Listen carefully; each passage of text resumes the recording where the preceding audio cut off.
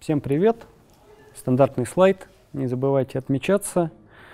Вот. э, Всем большое спасибо за обратную связь. Вот.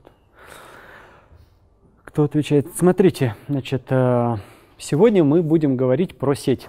Да, это такая большая тема. Собственно, все, что с ней связано на Android, мы будем обсуждать. В самом конце лекции мы еще поговорим по поводу ваших проектов. Вот, но это будет уже в самом конце. Вот, а пока что давайте начинать. Значит, вообще, э, кто писал какой-то сетевой код, который какие-то делает запросы через сокет, через HTTP на любом языке программирования? То есть, о, ну супер, то есть все. Ну круто.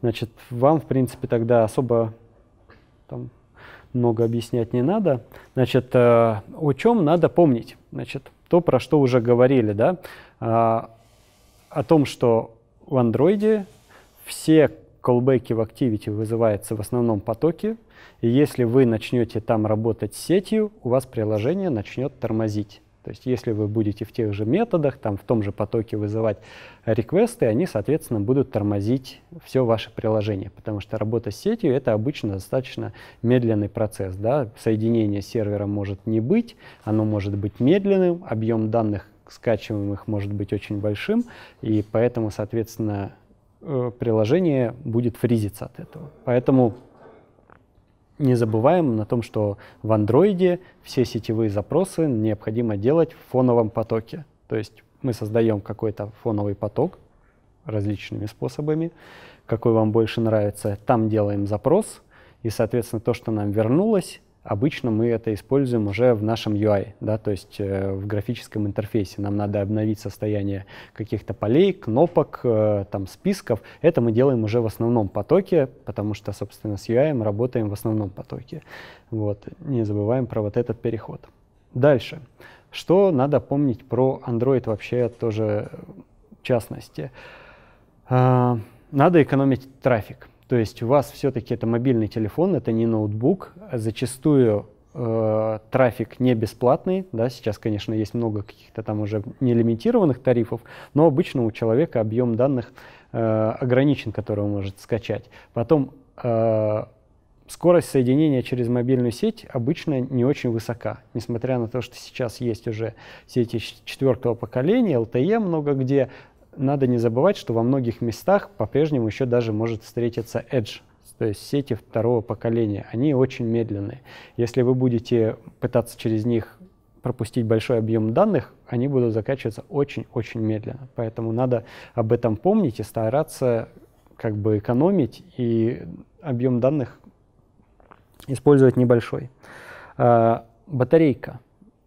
Соответственно, ваш телефон живет от батарейки, она не безграничная, разряжается телефон быстро, именно из-за того, что много приложений в фоне часто что-то закачивает из сети. Google сейчас с этим активно борется, они много чего за последние, наверное, два года сделали для того, чтобы пользователи старались в фоне ничего не загружать. Мы про это еще на следующей лекции как раз поговорим, про сервисы в андроиде, как они работают. Но, собственно, если ваше приложение уходит в фон, какую-то сетевую загрузку необходимо прекращать. То есть прекратили, вернулись из фона, возобновили. Опять же, что надо помнить? То, что, наверное, там, с чем вы сталкивались в домашнем задании. Если вы уходите в фон, потом возвращаетесь, вам надо хранить как-то ссылки на потоки, на реквесты, которые выполняются в фоне, да, и их как-то завершать, чтобы э, как бы все это работало нормально. Дальше. Персональные данные пользователя.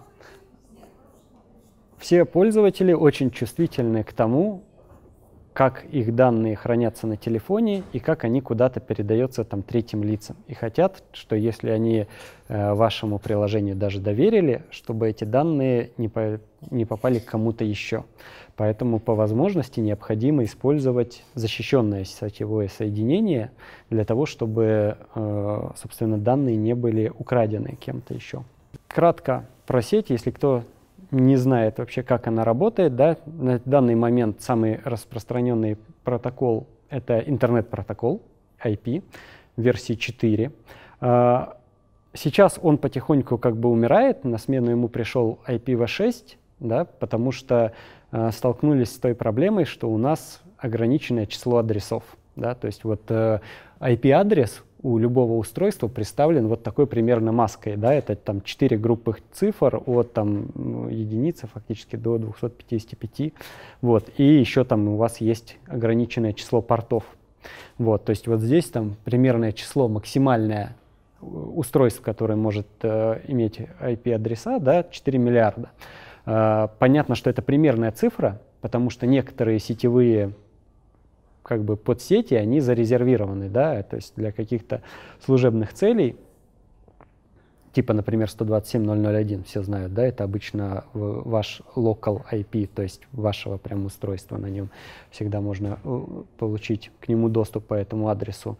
Э, какая-нибудь группа 192.168, да, и там под диапазон они тоже отдаются всем кто может использовать. Поэтому, если у вас дома какой-нибудь там роутер, да, у вас обычно ваша подсеть, это какая-нибудь там 192.168 и дальше какой-то ваш IP-адрес. Это для внутреннего использования, грубо говоря, этот диапазон был использован.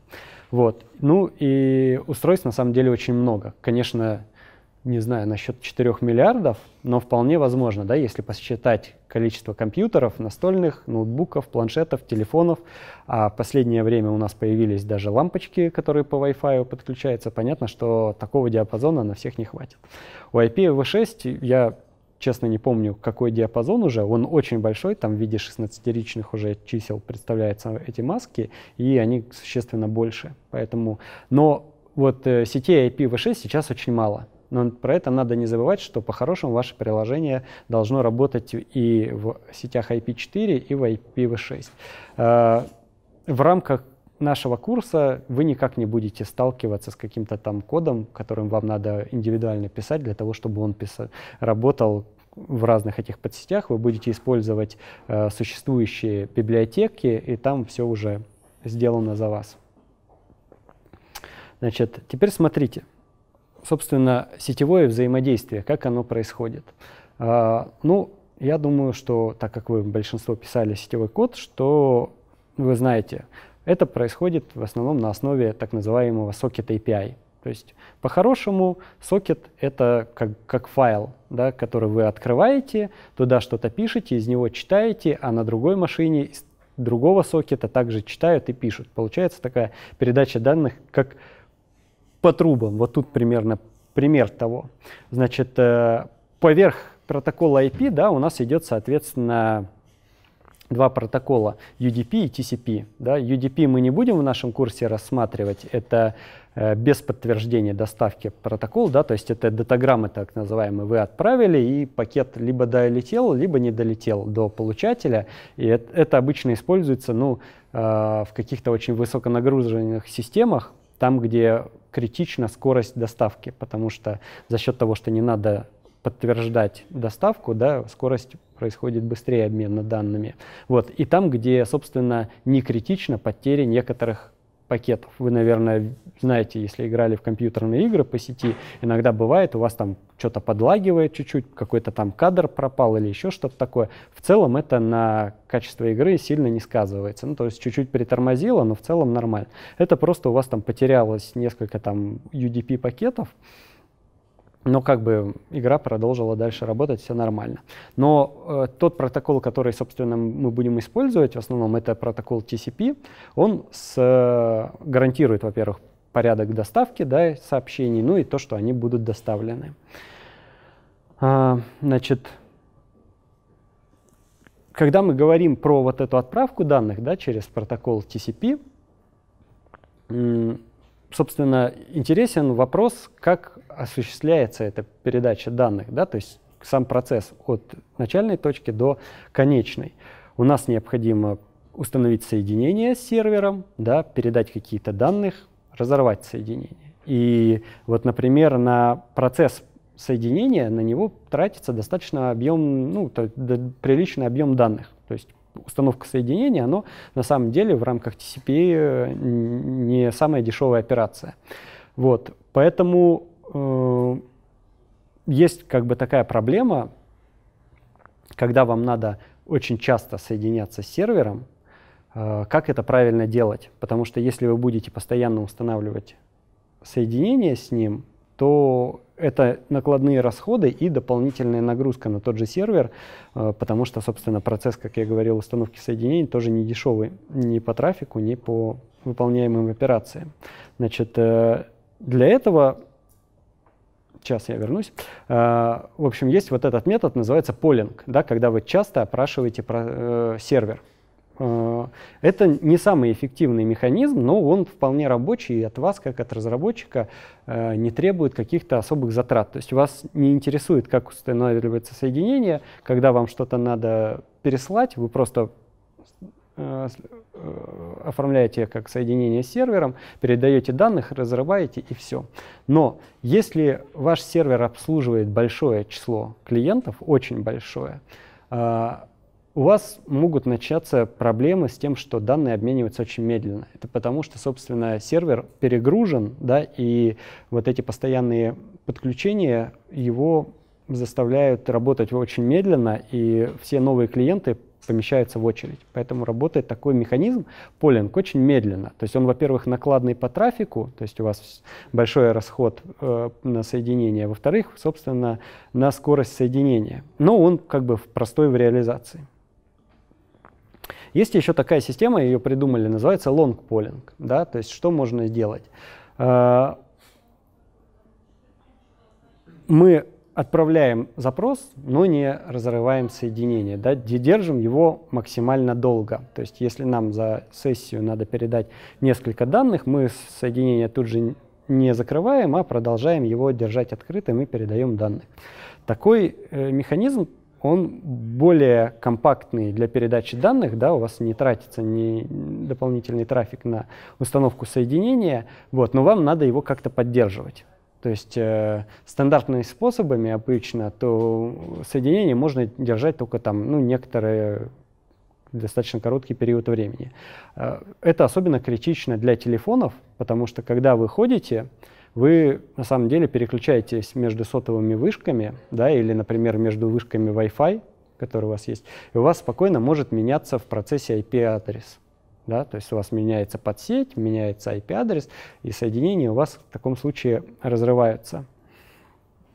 И, в общем, для обеспечения постоянного соединения с сервером, да, вообще придумали э, такой long polling очень сложный, э, который предоставляет буквально несколько компаний. Да? На сегодняшний момент это Google, у Амазона есть, у Фейсбука, у Mail.ru есть, у Яндекса есть, но в основном могут это позволить себе э, только крупные компании, потому что, во-первых, на это надо большое число серверов, э, это не, не тривиальная реализация со стороны клиента, да, под поддержки соединения, потому что надо уметь переустанавливать соединение, но для вас, как для клиента, все довольно-таки прозрачно. Вы устанавливаете как бы соединение, получаете данные, а как они к вам пришли и как отправились, вас не очень волнует. А, в рамках курса мы, наверное, попозже поговорим про такую штуку. Называется она Firebase Cloud Messaging. Раньше это называлось Google Cloud Messaging. Это система отправки, собственно, сообщений э, через Google, да, через их облако. И, собственно, они поддерживают вот это соединение.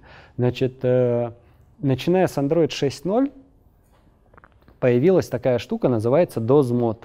То есть это режим глубокого сна. Это когда телефон определяет, что он сейчас в неактивном режиме. Это обычно определяется, что он лежит на горизонтальной поверхности, никто его не трогает. Да? В этот момент телефон очень глубоко засыпает. То есть он все процессы останавливает, все соединения как бы разрываются, и потребление батарейки в этот момент очень низкий. Но есть проблема в том, что если ваш э, клиент да, на андроиде чувствителен к обновлению данных, он не может в этот момент как бы проснуться, что-то скачать, нельзя как бы с сервера опять же передать как-то данные на ваш клиент. И единственный на самом деле рабочий механизм это э, Google Cloud Messaging, ну в данном случае это Firebase. Значит, для Firebase Google сделал исключение, да, то есть у них так все хитро устроено, что Android вот даже в этом режиме DOS Mod через вот этот Cloud Messaging поддерживает соединение. Обычно, соответственно, делается это так, когда вам надо обновлять какие-то критичные данные, вы настраиваете, соответственно, на своем сервере э, механизм отправки вот этих э, сообщений клиентам через э, Google Cloud Messaging, отправляете сообщение, клиент его получает, просыпается, и в этот момент, соответственно, он может начать какое-то сетевое взаимодействие. По-другому, в принципе, как бы э, не получается. Значит, в рамках э, нашего курса мы, в принципе, будем использовать протокол вообще HTTP.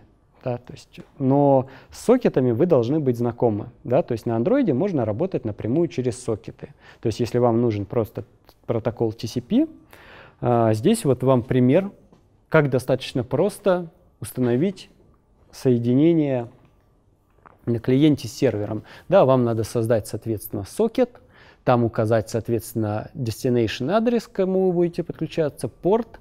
А, потом вам необходимо а, создать буфер, куда вы будете там а, читать данные, получить input stream от сокета, начать, соответственно, там в цикле читать в буфер из сокета там input stream, не забывать обрабатывать исключения, их могут быть большое число, да, unknown host exception может произойти, если такой сервер не найден, да, потому что вы можете указать не прямой IP-адрес, а, собственно, hostname, типа там mail.ru. Да. Это значит, что сначала э, клиент ваш отправит запрос к DNS-серверу, domain name сервер, э, узнает, собственно, его настоящий IP-адрес, и только потом к нему установит соединение. Если DNS-сервер ответил, что, собственно, такого хост он не знает, то вы получите вот этот вот unknown host exception, то есть нету такого хоста, и мы не знаем, что делать дальше. IO exception — это, соответственно, input-output exception да, в Java, он может произойти во время передачи данных, в том, если вдруг произошел разрыв соединения, вы сеть потеряли или еще что-то такое, он может у вас произойти, соответственно, не забываем.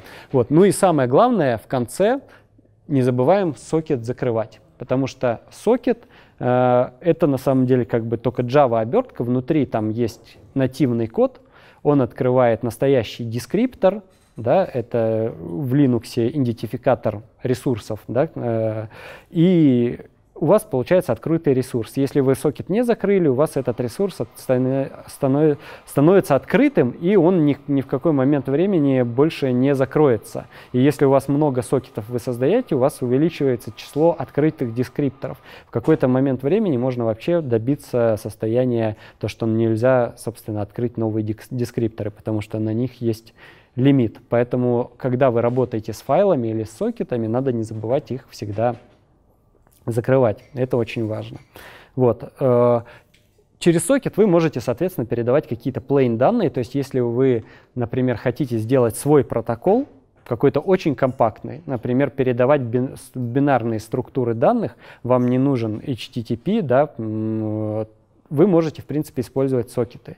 Вот, э, в рамках ваших проектов вы можете использовать сокеты, если на то есть причина. Но э, API не самый простой, и вам, собственно, очень много придется делать работы вручную. А, вы знаете? Давай, давай. А, вот здесь вот код работы с сокетом написан. А знаете, как можно его сократить?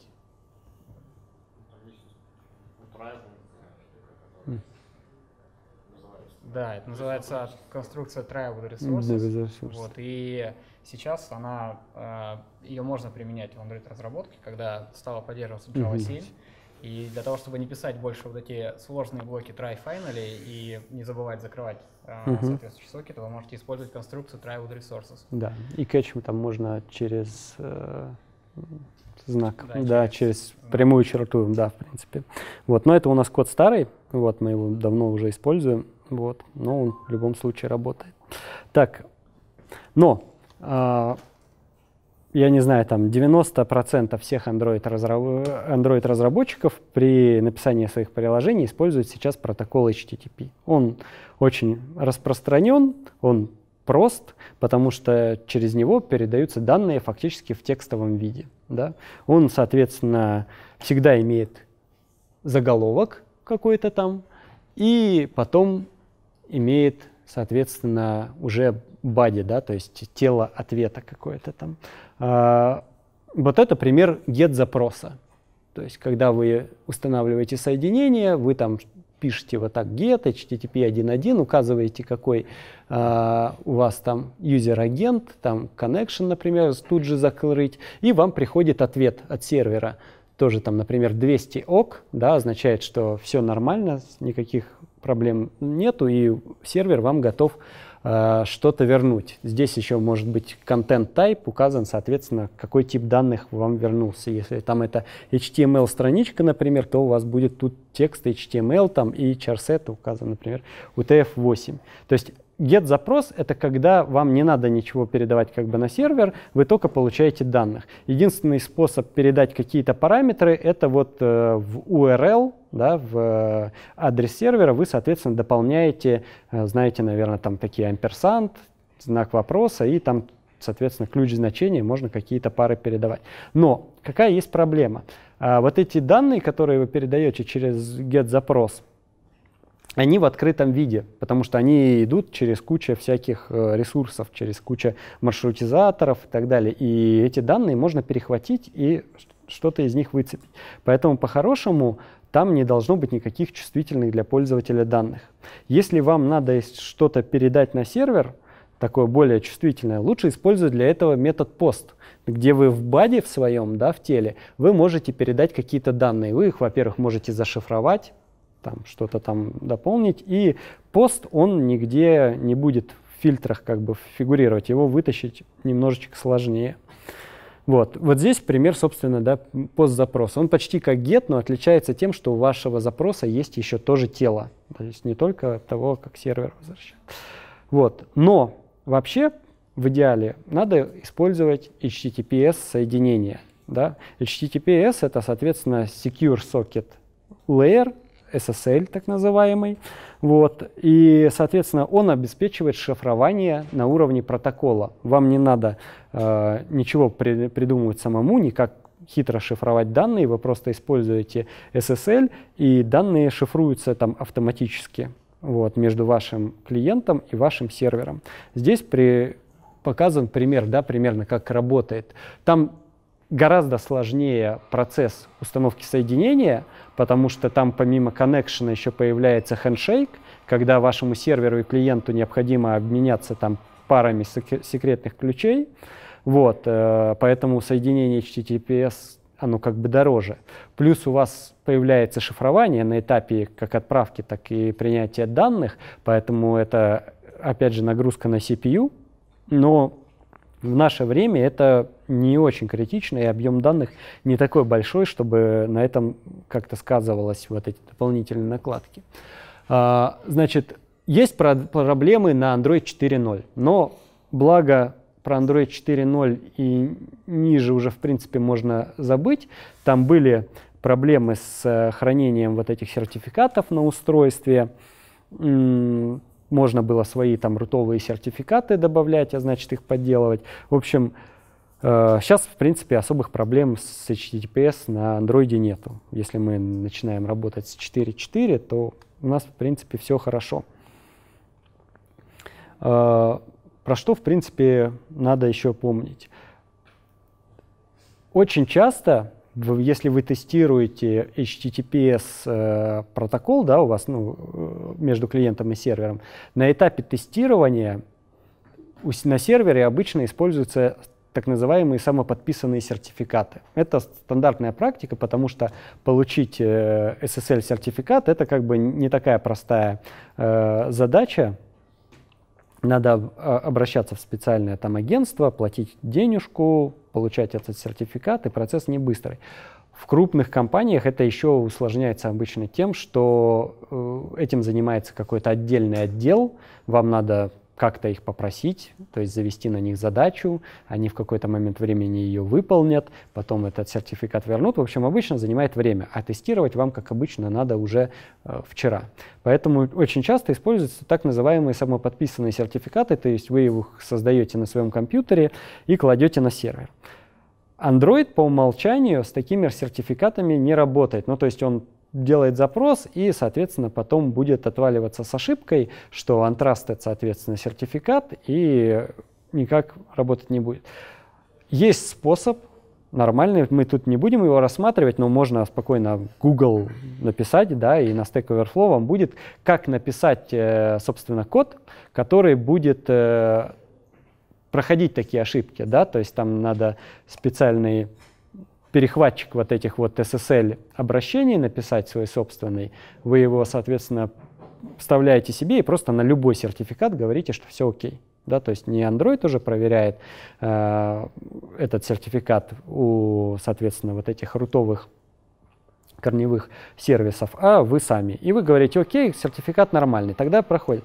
В общем, очень важно не забыть перед релизом вот этот код убрать да, потому что иначе, если у вас код принимает любой HTTPS-сертификат, у вас могут начаться проблемы. Самая распространенная эта атака называется man in the middle, когда посередине между сервером и вашим клиентом появляется третий э, как э, узел передачи данных, да, это может быть, например, какая-то точка доступа, вот, которая будет, соответственно, подменять сертификаты, клиент, соответственно, ваш примет их, потому что как бы все окей, но, соответственно, в этой точке уже известна пара ключ, соответственно, клиент-сервер, которые передаются, и можно все данные дешифрировать, и, соответственно, никакой защиты у вас нет.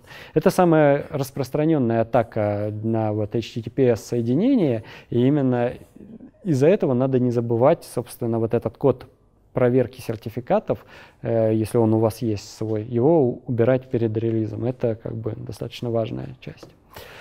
Теперь давайте поговорим, ну, собственно, обсудили, да, то, что у нас TCP, мы используем HTTP, через HTTP мы передаем наши данные. Либо это HTTPS для конечного пользователя, ну, для разработчика. Для вас, в принципе, не важно. Вы отправляете текстовые данные, и вы их, собственно, обратно получаете. Данные можно даже принципе, отправлять бинарные, но их надо представлять тогда в строковом виде. Для этого используется, называется base64 кодировка.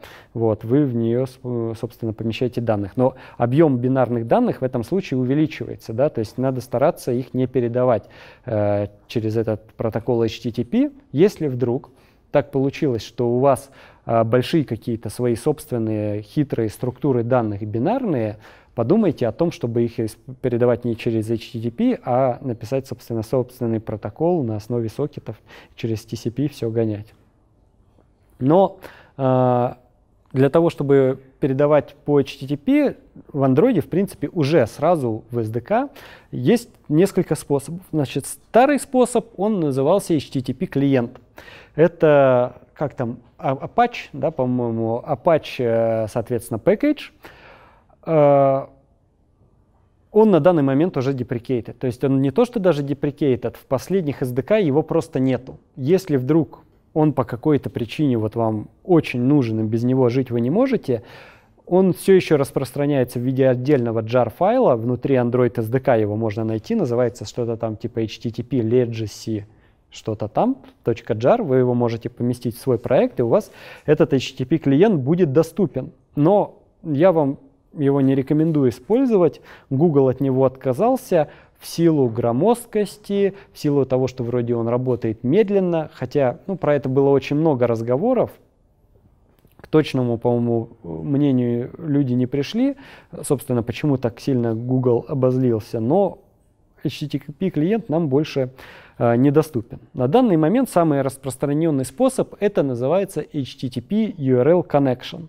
Значит, это один фактически класс, да, через который вы там вызываете, там несколько методов, то есть он очень простой в использовании. Если взять вот HTTP клиент, который да, предыдущий, там э, он создавался еще в эпоху э, такой Java там Enterprise и очень сложен в использовании, то есть там куча разных классов, фабрик, вам все это надо вместе соединять, как-то использовать, то с HTTP URL Connection все гораздо проще. Там фактически один класс, несколько методов очень простых, и он позволяет, ну, в общем, использовать все, что вам надо, да, там, соответственно, э, передавать данные по протоколу HTTP.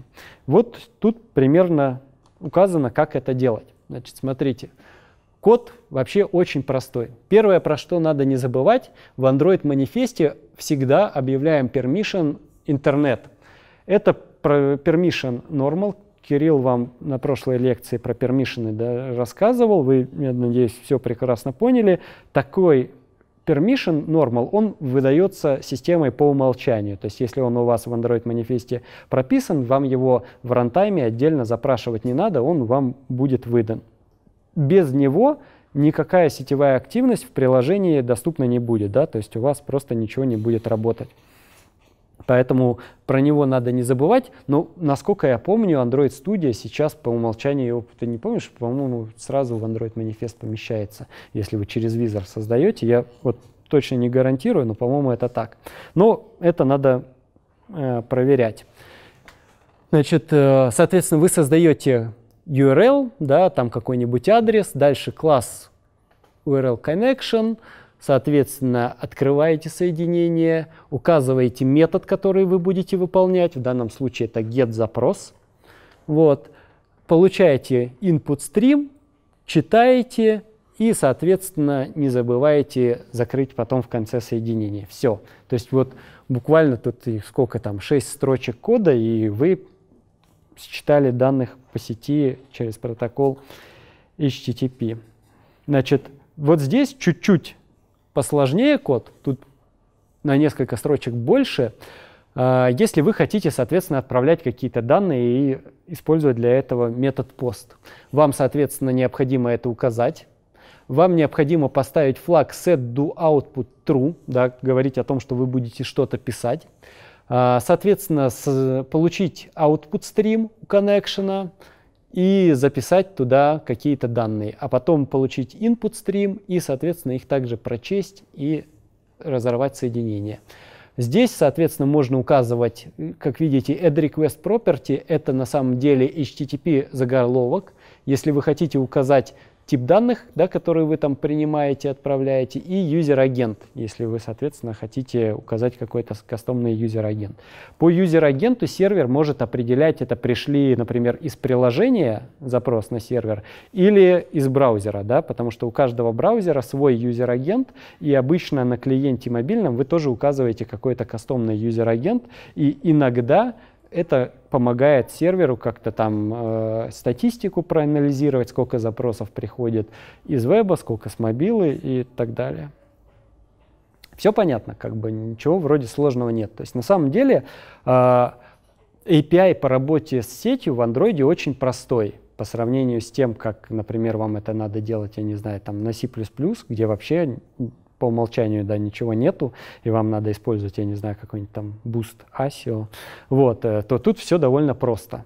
Вот, API простой, ничего сложного нет. Самое главное, про что помните, это то, что вот выполнение вот этого всего кода в UI-потоке его подвесит. Вот этот код, он выполняется синхронно, да, то есть пока вы данные не вычитаете, у вас, соответственно, метод этот э, не завершится. Поэтому вот эти все запросы вы делаете в отдельном потоке.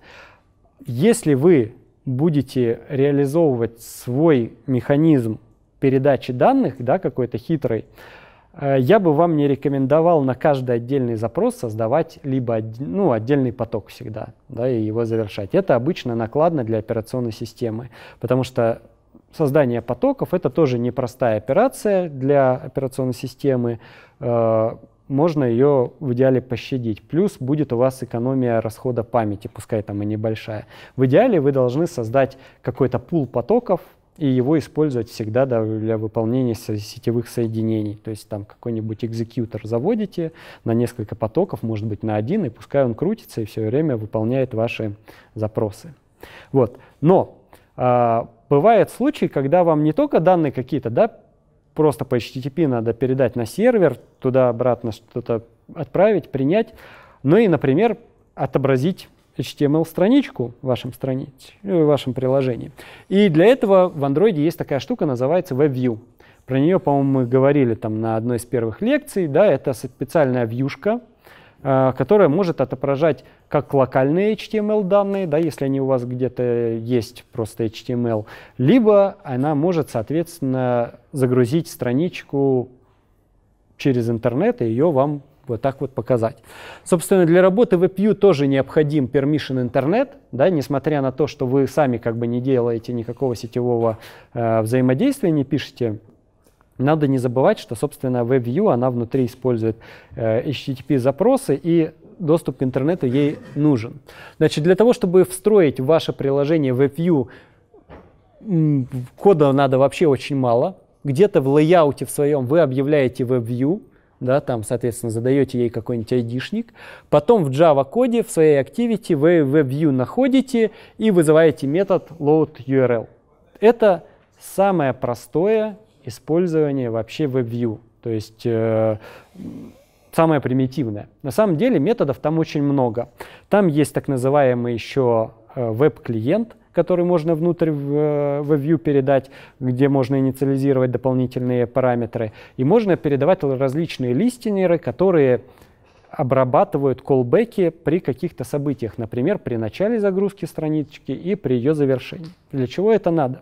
Значит, э, очень часто сейчас, э, ну и там уже, я не знаю, несколько лет, при авторизации в различные системы, будь то, я не знаю, там GitHub, какой-нибудь там ВКонтакте, Одноклассники и даже в Mail.ru, есть авторизация пользователя, которая называется как бы OAuth, да, Open Authentication. Она работает очень просто. Вы определенный URL-адрес открываете, по нему у вас открывается HTML-страничка с формой логин-пароль. Вы вводите как пользователь, соответственно, логин, пароль, окей, и сервер перебрасывает ваш на, какой-то другой адрес, который вы в этом URL указывали, и плюс туда подставляет так называемый токен. Да? Это специальный ключ, да, зашифрованный, с помощью которого ваше приложение потом может делать запросы. То есть у большинства сервисов их API, они закрытые, вы не можете взять и получить там у ВКонтакта, там, у любого пользователя список друзей, там музыку раньше можно было да, запрашивать, сейчас это вообще там убрали, какие-то там вступить в группу, выйти из группы и так далее. Все эти сетевые запросы, они защищены, соответственно, авторизации. Не авторизовавшись, вы их делать не можете. Для этого, собственно, вам и нужна часто OAuth. В ваших проектах э, вы будете использовать, мы не знаем, какие сервисы, да, это ваш выбор, но, скорее всего, какие-то сервисы с авторизацией. У некоторых из них есть нативная Android SDK, то есть вам на самом деле делать много не надо. Вы берете, если это ВКонтакте или Facebook, подключаете к себе их библиотеку, вызываете нужные методы, типа логин, например. У вас показывается уже там формочка с логином, либо из приложения, либо в браузере. Пользователь авторизуется, и вы только получаете подтверждение, что все хорошо или наоборот все плохо. Ну, пользователь отказался, неправильно ввел там пароль и так далее. Но есть некоторые сервисы, у которых нету SDK для Android. И часто вот эту авторизацию надо делать самим. И вот самый простой способ в Android это делать через WebView. То есть вы э, у WebView, когда вы указываете вот этот load URL, сюда указываете дополнительные параметры через вот эти амперсант. Да? Обычно вы туда передаете какой-нибудь клиент ID, ID вашего приложения, какой-нибудь еще служебный ключ и URL, на который сервер вас должен потом перенаправить. Потому что как это делается в понимании сервера? У вас есть страничка, скажем, ну, ваш там мой магазин.ру, например, да, и вы делаете там авторизацию пользователя через ВКонтакте. Пользователь вводит вот эти данные, вы делаете запрос в ВКонтакте и указываете вот этот вот редирект URL ваш сервер там мой магазин.ру, и после завершения Э, соответственно, авторизации, сервер перенаправляет пользователя обратно на вашу страничку, да, то есть на ваш же магазин, но в запросе уже фигурирует вот этот токен, который вы можете вычитать. И пользователь, как бы, получается, авторизовался и вернулся на страничку вашего магазина. Все нормально. Но на мобильном клиенте вам на самом деле э, не надо никакую вашу собственную страничку обратно открывать. То есть ее зачастую у вас даже нету. Вам надо только получить токен, а потом его использовать при э, соединениях через тот же URL client. Поэтому вы указываете в качестве редирект адреса какой-нибудь абсолютно несуществующий ход, хост, например, там example.com, да, там mysecretsite.com. И, как я говорил, у WebView можно указывать вот эти перехватчики загрузки страниц, и в них вы, соответственно, смотрите, куда вас редиректят, и если там есть в адресе вот этот ваш адрес, это значит, что все, процесс авторизации завершился, то есть сервер вас уже перебросил, и в этом, соответственно, уже адресе существующем надо искать вот этот вот токен.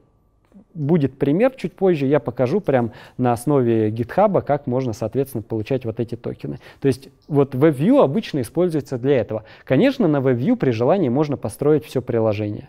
Да, то есть были прецеденты, Facebook в свое время пытался свое приложение не делать, а делать фактически один WebView, и чтобы в нем все работало, но работает это обычно медленно, плюс надо не забывать, что данные никак не кэшируются, и такое приложение работает только при наличии интернета, то есть без него у вас ничего работать не будет.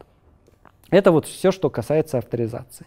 Ну, собственно, про WebView и об HTTP поговорили. Теперь поговорим про передачу данных. Собственно, когда вы работаете с сервером, как, какое-то у вас взаимодействие, конечно, вы не пересылаете, например, HTML-странички. То есть они вам бесполезны. Такие данные вам не нужны, парсить HTML очень сложно. Обычно вам надо передавать какую-то структуру данных. То есть информацию о пользователях, информацию о товарах, там, э, информацию, опять же, о покупках. Ну, в общем, куча разных данных. Какое-то время, очень длительное, очень распространенным форматом передачи данных был XML, который мы сейчас видим да, в, внутри Android при разработке. Собственно, у нас всякие лайауты, Android манифест XML. Это потому, что, собственно, Android разрабатывался в начале 2000-х годов, когда XML был очень популярен. XML формат текстовый и очень объемный, то есть э, вы знаете, да, там есть вот эти теги, они занимают много места, то есть это текстовые данные, текст, то есть это, соответственно, лишние все байтики. А более современный вариант называется JSON. Это вот самый распространенный формат передачи данных. А, расшифровывается он как JavaScript Object Notation. Собственно, он потому что перешел из JavaScript к нам. И описание данных выглядит, ну, собственно, так же, как в JavaScript. Если вы писали на JavaScript, да, вы знаете, как там массивы, э, соответственно, и объекты выглядят, то для вас все будет понятно. Вот. Э, формат очень простой. Вот пример того, как выглядит у вас обычно JSON. Да, вот эти знаки минусики, это на самом деле не текстовые какие-то поля, это просто в специальном вьювере, вот типа JSON View отображается JSON. На самом деле это простая структура данных, у вас обычно начинается и заканчивается фигурной скобочкой, это какой-то объект. А потом у вас есть поля, они могут быть разного типа данных. Это может быть строка, число, вложенный объект, здесь, да, какой-то, Внутри объекта может быть, например, массив. Массив в себе может э, содержать, соответственно, те же самые числа и строки. И, соответственно, булевые параметры, включая еще параметр null, да, зарезервированный, если там данных нет. И данные, соответственно, могут быть вообще в том числе там и в Unicode, как видите, передаваться, то есть никаких проблем с этих нет. То есть вот это пример какого-то там JSON-объекта, вот, который, соответственно, у вас есть. Примерно так будут выглядеть все данные, которыми вы будете обмениваться сервером. Как видите, собственно, они занимают достаточно мало места, и, соответственно, поэтому JSON считается компактным по сравнению с JavaScript. Конечно, по сравнению с бинарными данными, с бинарной структурой данных, он достаточно э, большой, потому что у вас, соответственно, все данные надо представлять в текстовом виде. А надо не забывать, что если у вас это Unicode, то у вас один символ может быть там от одного байта и там четырьмя заканчивая на самом деле. Да, то есть э, варьируется размер э, одного текстового символа. Вот. Но для текстового протокола он достаточно компактный. Он легко читаем, да, то есть вы как человек просто можете посмотреть на данные и уже видеть, что здесь происходит.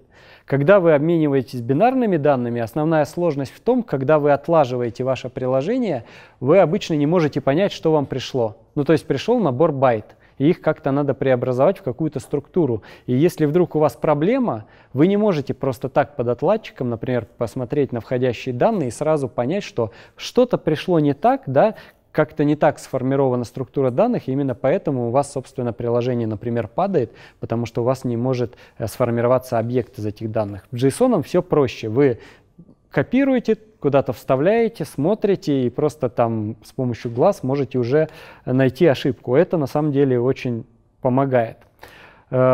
Он использует простые типы данных, да, потому что есть, в принципе, много разных протоколов, в некоторых есть много разных типов данных, какие-то там, соответственно, это могут быть числа, то это уже будут целочисленные, там, с плавающей точкой запятой. В JSON у вас просто number. Это на самом деле float, ну, то есть с плавающей точкой, но он называется number.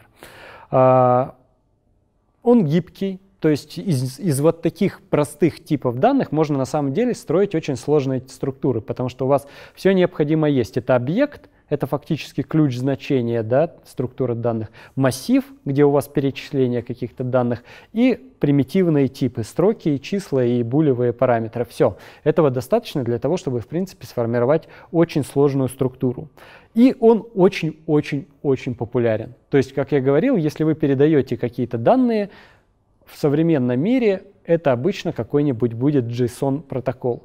То, что он популярен, облегчает вам жизнь еще тем, что огромное число библиотек под разные языки программирования. На чем бы вы ни писали, даже если это не Java и даже если это не под Android, в любом современном языке программирования, либо в стандартной библиотеке есть уже работа с JSON, да, у вас просто из коробки, либо есть какая-то э, третья библиотека от стороннего разработчика, которая, собственно, реализовывает э, разбор JSON протокола, ну и формирование, соответственно, JSON данных. Поэтому, собственно, JSON очень-очень удобен. Я думаю, что в своих приложениях, которые вы будете писать, в своих проектах, вы активно будете JSON использовать, поэтому с ним надо вам плотно познакомиться. Для того, чтобы в Android данные как-то либо упаковывать в JSON, либо вытаскивать оттуда, есть несколько стандартных таких вот классов. Во-первых, это пакет, он называется org.json, да, он есть прямо, собственно, в SDK Android, вам не надо дополнительно что-то устанавливать. И там на самом деле очень небольшое число объектов. JSON Array представляет из себя структуру данных массив. JSON Object — это, соответственно, структура данных объект. Э, JSON String — это, соответственно, строка. JSON токенер — это, собственно, разборщик JSON выражений. Обычно он используется там фактически один метод, там как get, вот, next value он называется, и JSON exception. JSON exception — это исключение, которое может у вас произойти при разборе входящего JSON э, сообщения. Если вдруг структура данных сформирована неверно, то есть синтаксис неправильный, при разборе JSON у вас будет, соответственно, произведено вот такое исключение, и если вы его не обрабатываете, у вас приложение упадет, да, потому что это э, runtime exception, так называемый. Вот, собственно, все. Использование очень простое. То есть вот на, вам для примера э, входящий JSON есть какой-то, и мы из него формируем какую-то структуру данных, ну пускай это будет называться урок, да, там lesson. Как это да, делается? Вы создаете объект JSON токенер и передаете ему входящую строку. Строка, соответственно, содержится в JSON, это то, что вам сервер вернул. Потом, соответственно, получаете у него next value и говорите, что это JSON object, да, кастите, то есть это значит, что вся структура данных, которых у вас пришла, это объект. Внутри на него могут быть какие-то поля, но, собственно, из себя он представляет объект. Дальше, соответственно, э, вы создаете там какой-то этот класс и получаете данные из этого объекта, да, вот эти поля. С помощью методов getLong вы получаете, соответственно, тип данных long, с помощью getString вы, соответственно, получаете строку, да, то есть это в объекте у вас есть по ключ значения вот такие поля timestamp, например, и file pass. Соответственно, их значение вы и получаете. Потом у вас внутри есть какой-то массив, там с какими-то карточками. Вы, соответственно, получаете вот этот объект JSON Array, который вот здесь у нас да, указан, и по нему итерируетесь. К сожалению, не, он не поддерживает стандартный как бы Java итератор, поэтому нельзя использовать вот этот for each э, механизм. Надо использовать обычный цикл там for или while, но вы можете получить длину массива и, соответственно, э, получать какие-то, соответственно, данные вот из него и дальше там заполнять. Все, вы, грубо говоря, распарсили, как это называется, да, ну или, соответственно, прочитали входящее JSON сообщение какое-то и сформировали из него свой объект. Дальше вы, соответственно, с ним можете работать. Ничего э, сложного нет. В примере там я еще покажу, как э, преобразовывать данные обратно в JSON, но там это гораздо проще. На самом деле у каждого из этих э, классов, у объекта и у array есть на самом деле метод toString, то есть вы создаете такой вот объект, например, или array, добавляете туда данные, а потом вызываете стандартный там Java метод toString, и он у вас сформирует, собственно, JSON, который вам надо отправить на сервер. Вот. Но это все как бы хорошо, но сами понимаете, если, скажем, структура данных у вас очень большая и сложная, то есть ответ от сервера большой, скажем, у вас будет э, детальное описание пользователя, либо детальное описание какого-то компонента, где разные поля есть, скажем, URL, картинки, какие-то служебные еще поля, там, э, писать вот на каждый такой запрос, да, на каждую структуру данных вот такой обработчик, это на самом деле э, непростая задача. И самое главное, когда у вас вдруг поменяется протокол, а такое часто бывает, да, в него что-то добавляется, убирают из него, вам вот этот, вот этот разбор придется менять и как бы быть тут аккуратным, проверять, что какие-то поля есть, каких-то нету и так далее. Э, на помощь нам приходит сторонняя библиотека, она разработана, собственно, компанией Google, поэтому называется она на букву G тоже, и, соответственно, называется она GSON, да, обычно, да, чтобы не, не было э, путаницы с JSON. Вот, и вот здесь на GitHub, собственно, она лежит. Но для того, чтобы вам ее в проект подключить, вам не надо скачивать какие-то исходники, jar файл отдельный. Все, что вам надо, это в ваш build Gradle в зависимости, да, в секцию dependencies прописать вот такой путь. Compile, com Google Code XON 282. Ну, на сегодняшний день это самая, большая, самая поздняя версия. Э, когда вы будете разрабатывать свои приложения, возможно, появится что-то посвежее, поэтому проверяйте. В принципе, можно вот это вместо двоечки указать плюсик, но я не рекомендую так делать, потому что плюс это значит э, самая последняя версия да, какая-то. Но иногда бывает так, что там API поменялся, вы к этому не готовы, и у вас э, сборка вашего проекта ломается, а вы не очень понимаете, что произошло. Вот. Использование GSON очень простое. То есть вы берете, создаете специальный объект GSON, потом ваш Java объект, скажем, мой тип, и говорите там тут JSON, да, и, соответственно, преобразовываете ваш объект в JSON строчку. Или, когда вам надо распарсить входящие данные, вы указываете, к какому типу данных Java вам надо привести входящий JSON, и вызываете метод from_JSON, да, то есть вот всего ничего. Конечно, так просто вот все не работает, Э, вот эта библиотека JSON, она использует внутри э, рефлексию, да, Java Reflection. Она нужна для того, чтобы сопоставлять поля вашего класса с структурой данных, которая описана вот в этом JSON-файле. Да, и, соответственно, имена у вас должны тогда совпадать. Вот здесь указан чуть-чуть более сложный пример, как, соответственно, это происходит. Предположим, у вас есть класс user – да, и вот этот юзер передается по сети с помощью JSON. Это объект, и у него есть поля, там логин, например, и ID. Это, соответственно, два, один строковое поле, а другое целочисленное. Вы указываете э, с помощью Java Annotation вот такие вот специальные слова serialized name да, и expose. А дальше, соответственно, вы делаете какой-нибудь класс там, где у вас есть эти пользователи, и вот как вы их преобразовываете. Что вы делаете? JSON Builder, с помощью него вы потом создаете вот этот там какой-нибудь followers, вот у вас user, это вот этот вот класс, там массив внутри, и, соответственно, вы помещаете внутри followers. Вот у вас вот этот список, который получится при преобразовании. Значит, вот э, теперь, собственно, вот об этих вот serialized name. Как я говорил, преобразование происходит данных при, при помощи Java Reflection.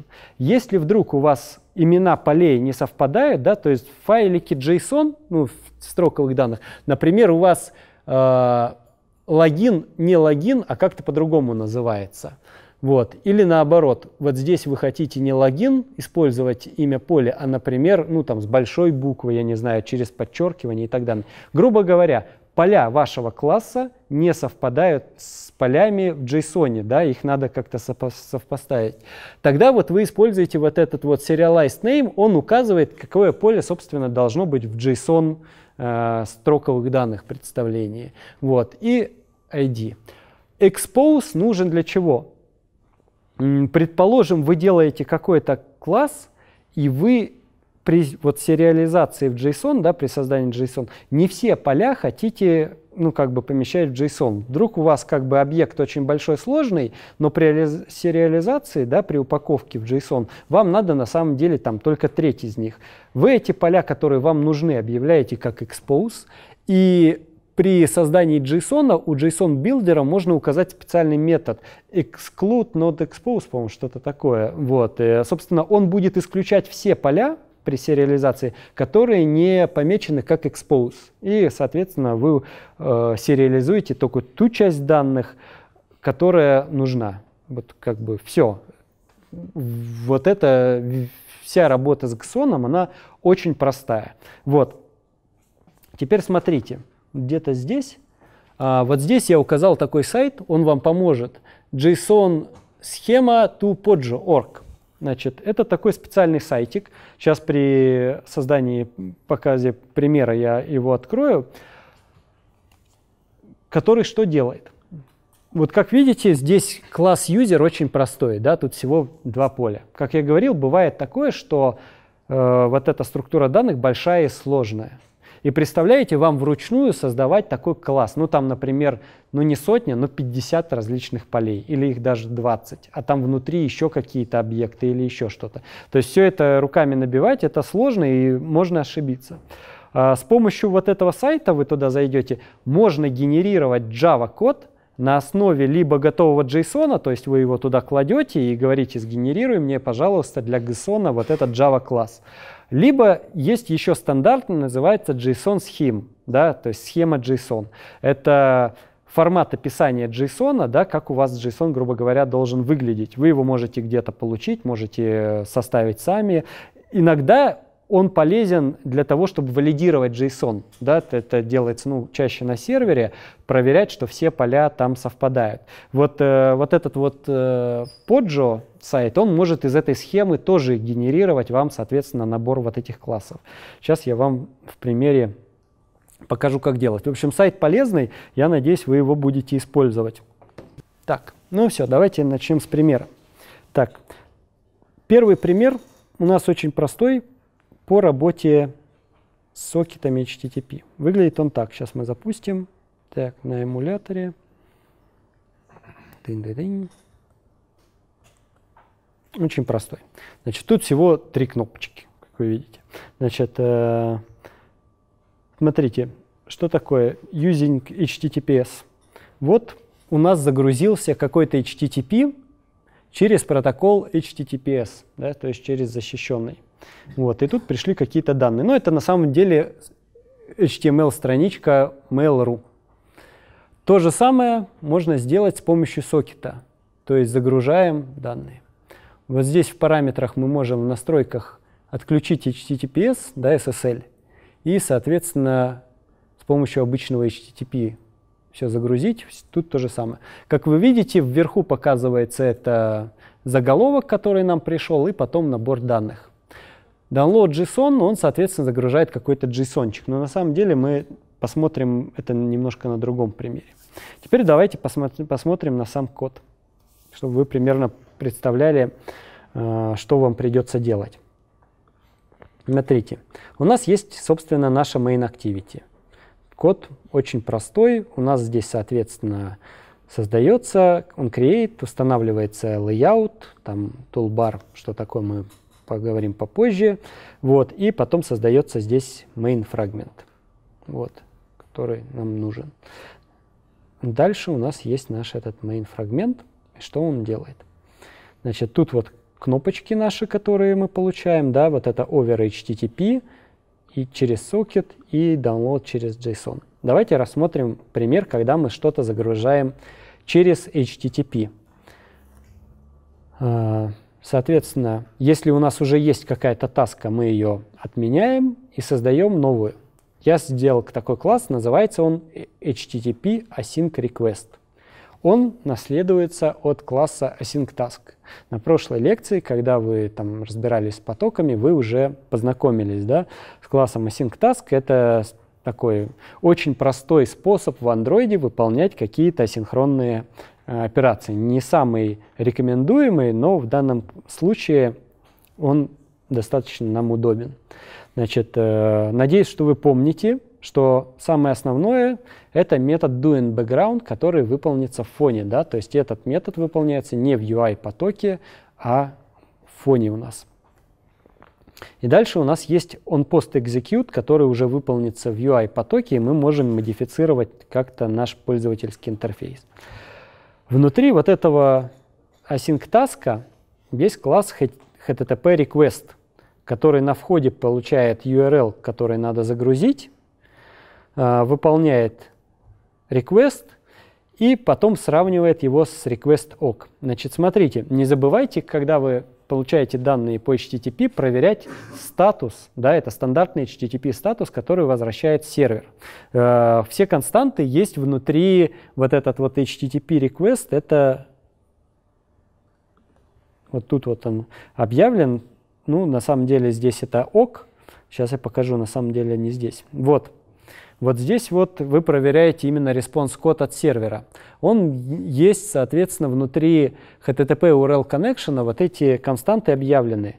HTTP OK у нас это код 200. Если сервер вернул 200, значит все хорошо. Если не 200, обычно что-то не так.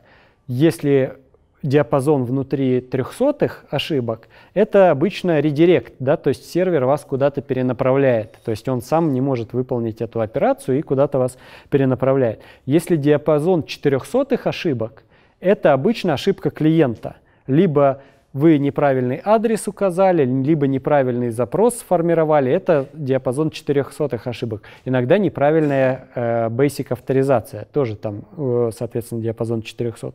Если диапазон ошибок 500, да, то есть начиная с 500, это серверная ошибка. Это значит, сервер вам не может ответить по какой-то причине, он э, упал, он сильно загружен, в общем, с ним что-то все очень плохо. И, соответственно, эти параметры надо всегда про проверять, не забываем.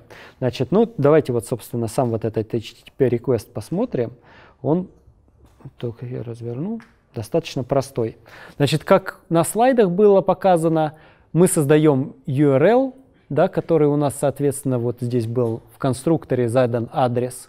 Потом мы, соответственно, берем connection, его открываем, устанавливаем метод get, э, что это запрос, э, устанавливаем тайм-аут соединения, по дефолту он 30 секунд, насколько я помню, и это достаточно долго. То есть если у вас э, что-то не пошло не так, да, например, сети нет или еще что-то, он может достаточно долгое время под, быть в подвешенном состоянии. Э, при современных как бы сетях это уже достаточно медленно, да, ожидать 30 секунд, длительная операция. Обычно ее сокращают ну, до 10-15 секунд. Тут я вообще поставил 5 секунд, да, в миллисекундах все, чтобы, соответственно, если что, долго не ждать. А, соответственно, указываем, что если что, мы обрабатываем редиректы. Это значит, что если сервер нас будет с одного адреса на другой перенаправлять, чтобы это произошло автоматически.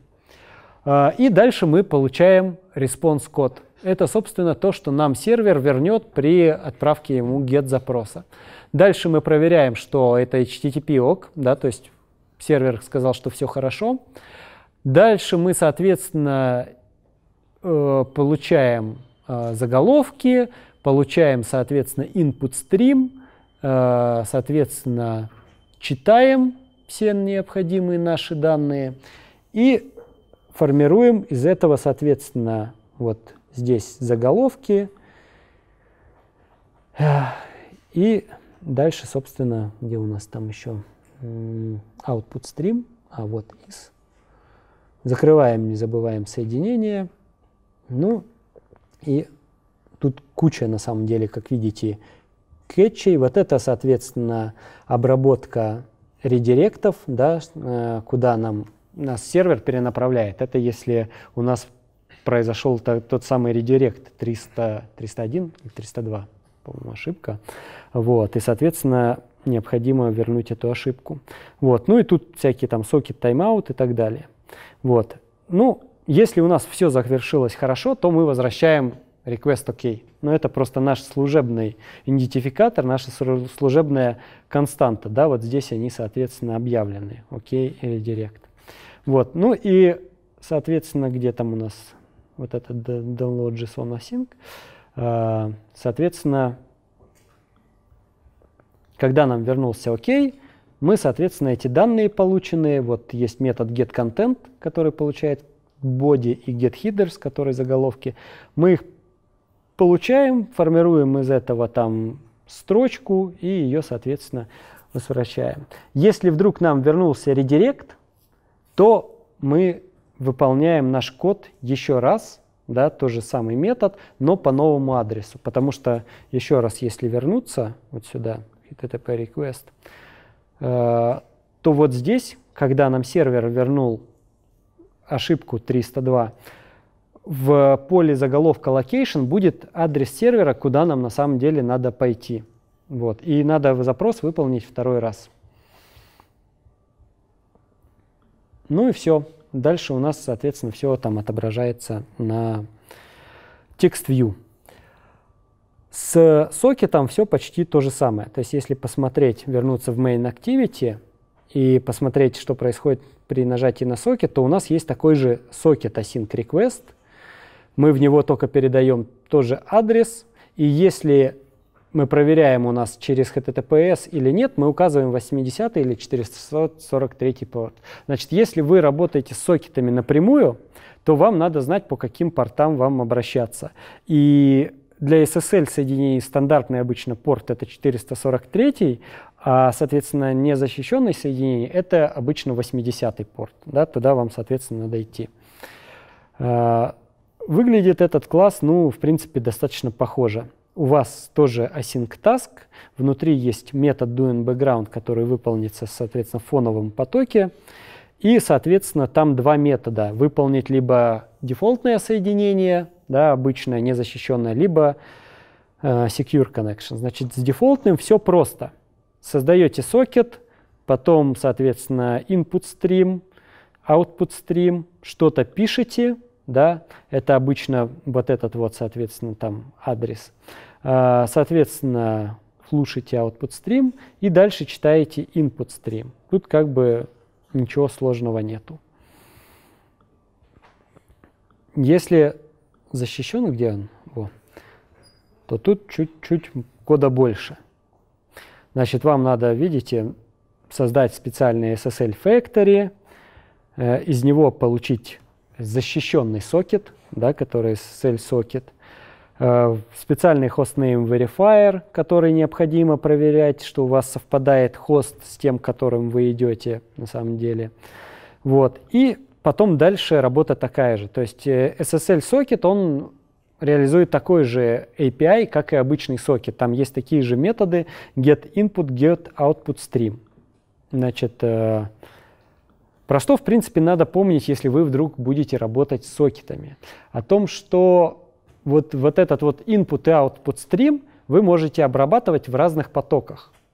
Как происходят обычно данные? Когда вы работаете напрямую с сокетом, вы создаете на самом деле два потока, В одном вы будете потом работать с input стримом, с другим, в другом с output стримом. То есть если вам надо что-то передать на сервер, вы в одном потоке, который работает с input стримом, пишете, а когда вы ожидаете данные, вы, соответственно, в другом потоке, в output стриме вызываете метод read. Этот метод, дело в том, что он блокирующий. Пока сервер вам туда что-то не записал, у вас вызов этого метода не, завер, не завершится. Большая ошибка в том, что э, разработчики думают, что они могут типа в цикле да, там, пытаться там, работать с input стримом и с output стримом. В input они что-то пишут, из output они что-то читают, и в этот момент, собственно, происходит блокировка. Сервер вам либо не может ничего в этот момент вернуть, либо ему нечего вам вернуть. И у вас в этот момент, соответственно, этот поток блокируется. Поэтому э, в input stream пишем в отдельном потоке, в output stream читаем в отдельном потоке. Все, тут, в принципе, все то же самое. Прочли, соответственно, в output stream э, в строчку, все закрыли, не забываем все потоки, да, input, output и сам сокет, и вернули результат. Uh, так, JSON мы тут смотреть не будем, сейчас посмотрим немножко по-другому. Есть второй пример. Он покажет работу как раз с WebView. Сейчас посмотрим, его запустим.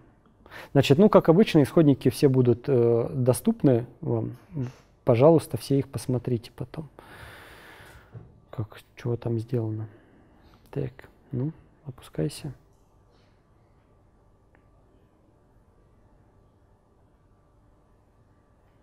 Значит, вот такое простое приложение. Оно у нас сделано для того, чтобы авторизоваться на GitHub. GitHub, я думаю, вы все знаете уже, что это такое. Uh, у него на самом деле очень богатый API.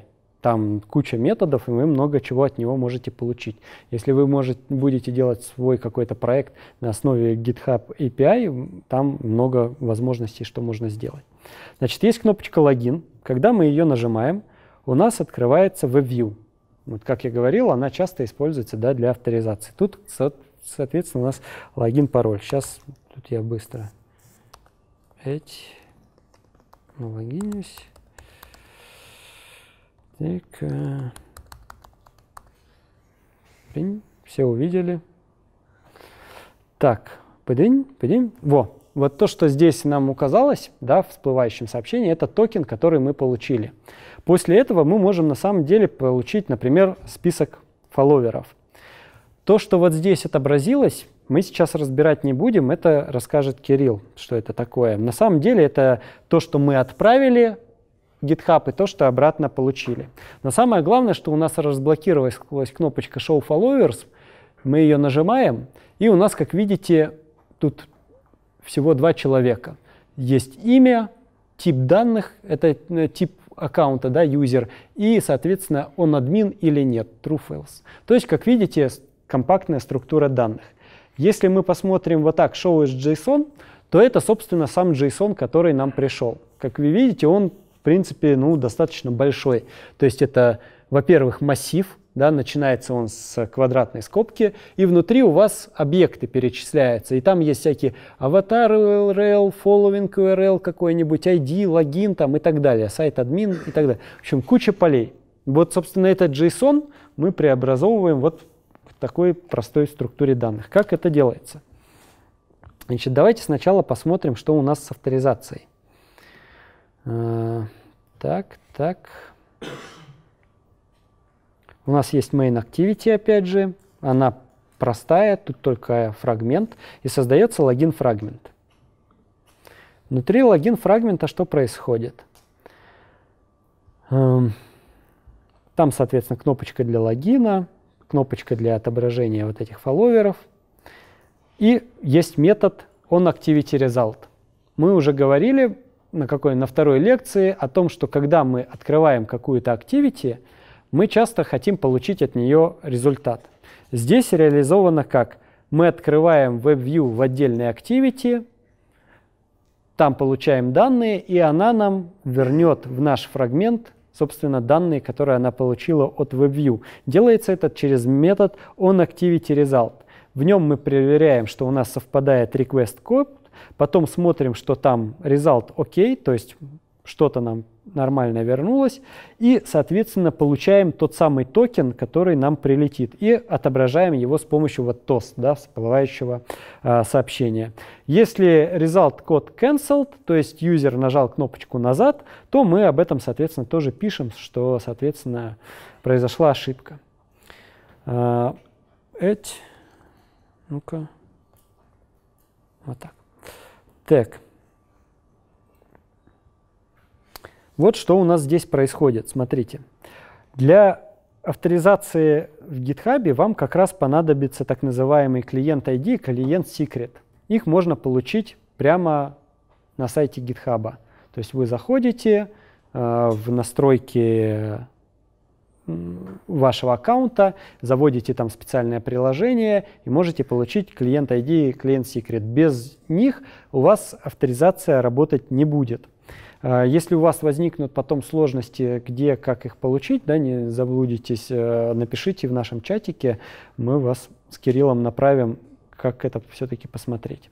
Значит, мы получаем из ресурсов э, клиент ID и клиент Secret, и дальше запускаем Activity с этими параметрами. У вас вот Web Activity наш. Значит, внутри Web Activity у нас есть WebView, да, то есть там очень простой layout, вот он. Вот, внутри него только WebView, больше там, собственно, ничего нет. Получаем наши клиент ID клиент secret из э, интента, э, формируем, соответственно, URL для авторизации, URL для, соответственно, получения токена и redirect URL. Ну, в данном случае это у нас э, как раз вот этот вот example.com это, собственно, мы скажем GitHub, куда нас перенаправить после завершения авторизации. Значит, э, в методе onResume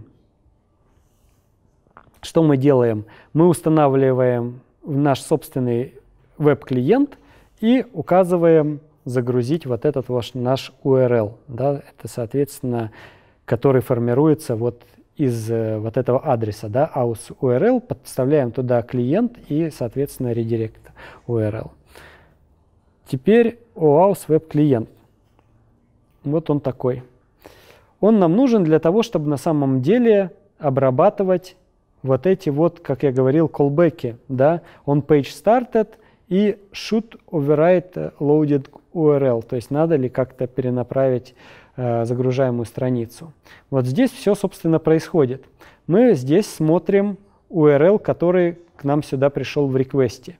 Если он начинается с example.com, то есть куда нас, собственно, перенаправили, то мы получаем из этого URL как раз access токен. То есть внутри вот этого URL он будет начинаться с example.com, а дальше он будет дополнен, соответственно, нашим токеном. Вот. И после того, как мы получили его, мы его разбираем. Что он тут? У нас есть метод access token getter. Значит, э, авторизация, вот эта OAuth, она обычно используется в два этапа. Бывают случаи, когда вам сразу пришлют токен, да, такой более упрощенный вид. Вот, но классическая OAuth 2 авторизация, она делается в два этапа. Собственно, чтобы было меньше вероятности перехвата вот этих токенов, э, используется второй этап. Э, вам сервер возвращает не токен, вам сервер возвращает специальный просто какой-то ключ. Да, то есть теперь с помощью него вам надо на самом деле получить токен. Когда вы его получили, вы заводите там еще один вот здесь async task в примере, а, создаете URL, куда вы подставляете client ID и уже другой параметр client secret, да, его не фигурировало еще раньше, он как раз нужен для большей защиты. А, потом вы, соответственно, указываете, что вы хотите создать метод post, соответственно, do input, do output, да, и, соответственно, после этого выполняете ваш запрос. Получаете статус ОК, что все хорошо, и уже, соответственно, из готового вам ответа получаете, собственно, токен. Токен, ну, вам представлен, видите, там через амперсант там разбит. Тут вы просто форматируете. Все, вот это на самом деле авторизация. И такой код на самом деле, ну, он почти везде один и тот же для большинства сервисов. Если вы вдруг будете э, использовать э, авторизацию на каком-то сервисе, можете смело использовать этот код. Скорее всего, его надо будет совсем немного модифицировать. Обычно только URL, по которому вы пойдете, и может быть там э, клиент ID, клиент secret будет как-то по-другому указан. Нас на самом деле еще волнует JSON, да, который мы получали. То есть так ос ос осуществляется авторизация. После того, как у нас есть токен, мы можем делать так называемые API-запросы, то есть вызывать какие-то методы у сервера, которые нам доступны. Для этого, собственно, мы, например, как получаем наших фолловеров, кто за нами следит. Значит, э, есть еще один фрагмент, он там простой, кнопочка, да, там, которую мы получаем. Вот. И, собственно, что он делает? Здесь, видите, ну, он называется email request, тоже это async task, тоже выполняется в фоне. Сейчас я вот этот метод закомментирую, я буду использовать вот этот. Позже мы расскажем, в чем отличие. А, значит, и что у нас происходит? Мы делаем запрос, вот этот метод getUsingURL. Вот мы сформировали, соответственно, наш запрос, открыли connection, получили response код, да, и, соответственно, получили э, message. Дальше мы, соответственно, берем input stream, входящие данные от сервера, и нам их как-то надо преобразовать. Первое, что нам надо сделать, это из ответа получить response string. То есть мы э, входящий поток, да, вычитываем и формируем из этого обычную Java-строку. Теперь нам эту строку, которая из себя представляет JSON, надо, собственно, преобразовать в наш тип данных, в наших фолловеров. Вот этот метод. Он такой же, как был на слайдах. У нас есть вот здесь список пользователей. Uh, у нас, соответственно, вот этот метод, который принимает на входе строку JSON. Соответственно, мы создаем JSON Builder, создаем вот этот наш э, класс followers и указываем, что преобразовать JSON в, э, в массив данных, который, это вот user, да, вот здесь видите квадратные скобочки, значит массив будет.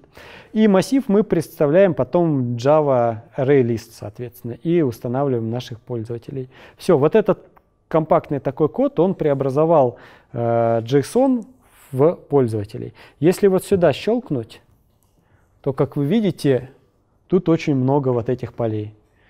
Как я говорил, писать вот такой код самому, да, тут 200 строк, ну, это довольно-таки утомительно. Соответственно, как можно это сделать? Когда вы получаете какой-то запрос от сервиса, смотрите, я поставлю вот сюда breakpoint. Э, так, у нас под отладчиком подключено. Теперь смотрите. Вернусь и нажму кнопочку еще раз. Так, оп. Вот мы остановились на брейкпоинте, нам пришли сюда данные. Если мы посмотрим в переменных, вот, собственно, тот JSON, который нам пришел. Видите, начинается с квадратной скобочки, и потом пошел наш объект, и там с кучей полей. Мы берем, вызываем copy values, скопировали то, что нам пришло. Открываем вот этот сайт, да, о котором я говорил, JSON-схема. Тут как раз, в принципе, все то же самое. Вот сюда вставляем то, что нам пришло большой объем данных. Указываем, для какого языка мы хотим получить, скажем, для Java, как э, входящие данные, указываем, что это JSON. Если вы используете JSON-схему, то указывайте, соответственно, схему. Соответственно, стиль, во что вы будете, в какой тип данных, грубо говоря, преобразовывать. Говорите, что это JSON. Как видите, есть несколько еще библиотек. Тут куча флажков есть, которые можно по умолчанию оставить. Вот здесь свой package name, ну мы сейчас не будем указывать, да, вы можете указать сразу свой package name в вашем приложении и класс, который вы хотите видеть. В нашем случае это, например, user. И дальше, соответственно, мы нажимаем кнопочку Preview. Вот, собственно, код на Java, который у нас да, с авто сгенерировался. Если вас все устраивает и все хорошо, вы потом называете кнопку Zip, и вы скачиваете прям Java файлы, которые вы можете прям внутрь своего проекта получить, и все у вас, собственно, готов биндинг между JSON и вашими данными. Все как бы очень просто. Вот. Если вам надо обратно преобразовать ваши данные в JSON, да, то есть вот, э, вот этих пользователей, то, соответственно, что вы делаете? Видите, есть метод sjson. Что он делает? А, создает объект JSON Builder, вызывает метод setPrettyPrinting. Для чего он нужен? Этот метод нужен для того, чтобы у вас были вот эти переносы строк. Да, если вернуться вот сюда вот, в пример, где он тут завершился, сейчас мы его запустим еще раз. Вот. Он облегчает вам как пользователю, ну как разработчику, просмотр вот этих данных. Потому что когда это одна сплошная строка, да, например, вот как вот здесь вот сейчас, то сами понимаете, читать вот такое сложно. Да, эта строчка очень длинная, там, соответственно, есть вложенные типы данных там и так далее. Это разобрать сложно. Но все не бесплатно. Вот этот вот э, красивый формат, отформатированный, он обеспечивается за счет того, что вставляются переносы строк и символы табуляции. То есть у вас размер строки на самом деле увеличивается. Поэтому вот такой вот э, метод setPrinting не рекомендуется использовать там в релизе, а только при отладке вы его включаете для того, чтобы посмотреть, что у вас все окей, а потом его убираете, потому что серверу и клиенту на самом деле все равно, есть там переносы строк, нету их, там есть там табуляция. Лучше, чтобы формат был покомпактнее. Вот. Ну и, соответственно, вызываете метод toJSON и передаете туда структуру данных вот этих пользователей. И все, опять же, произойдет магия, у вас формируется, соответственно, строка э, JSON. Собственно, так у вас все будет. Э, ну вот, собственно, наверное, тут это все. А, я сейчас вам расскажу про более современные подходы работы с uh, HTTP uh, и про две библиотеки, которые ну, наверное, сейчас являются наиболее распространенными библиотеками, которые применяются, собственно, в Android-разработке при работе с протоколом HTTP. Первый из них — это uh, OKHTTP. Это библиотека, которая была разработана компанией Square. Она очень популярна, и не просто так. На самом деле у нее очень uh, широкие возможности и очень простой интерфейс для работы.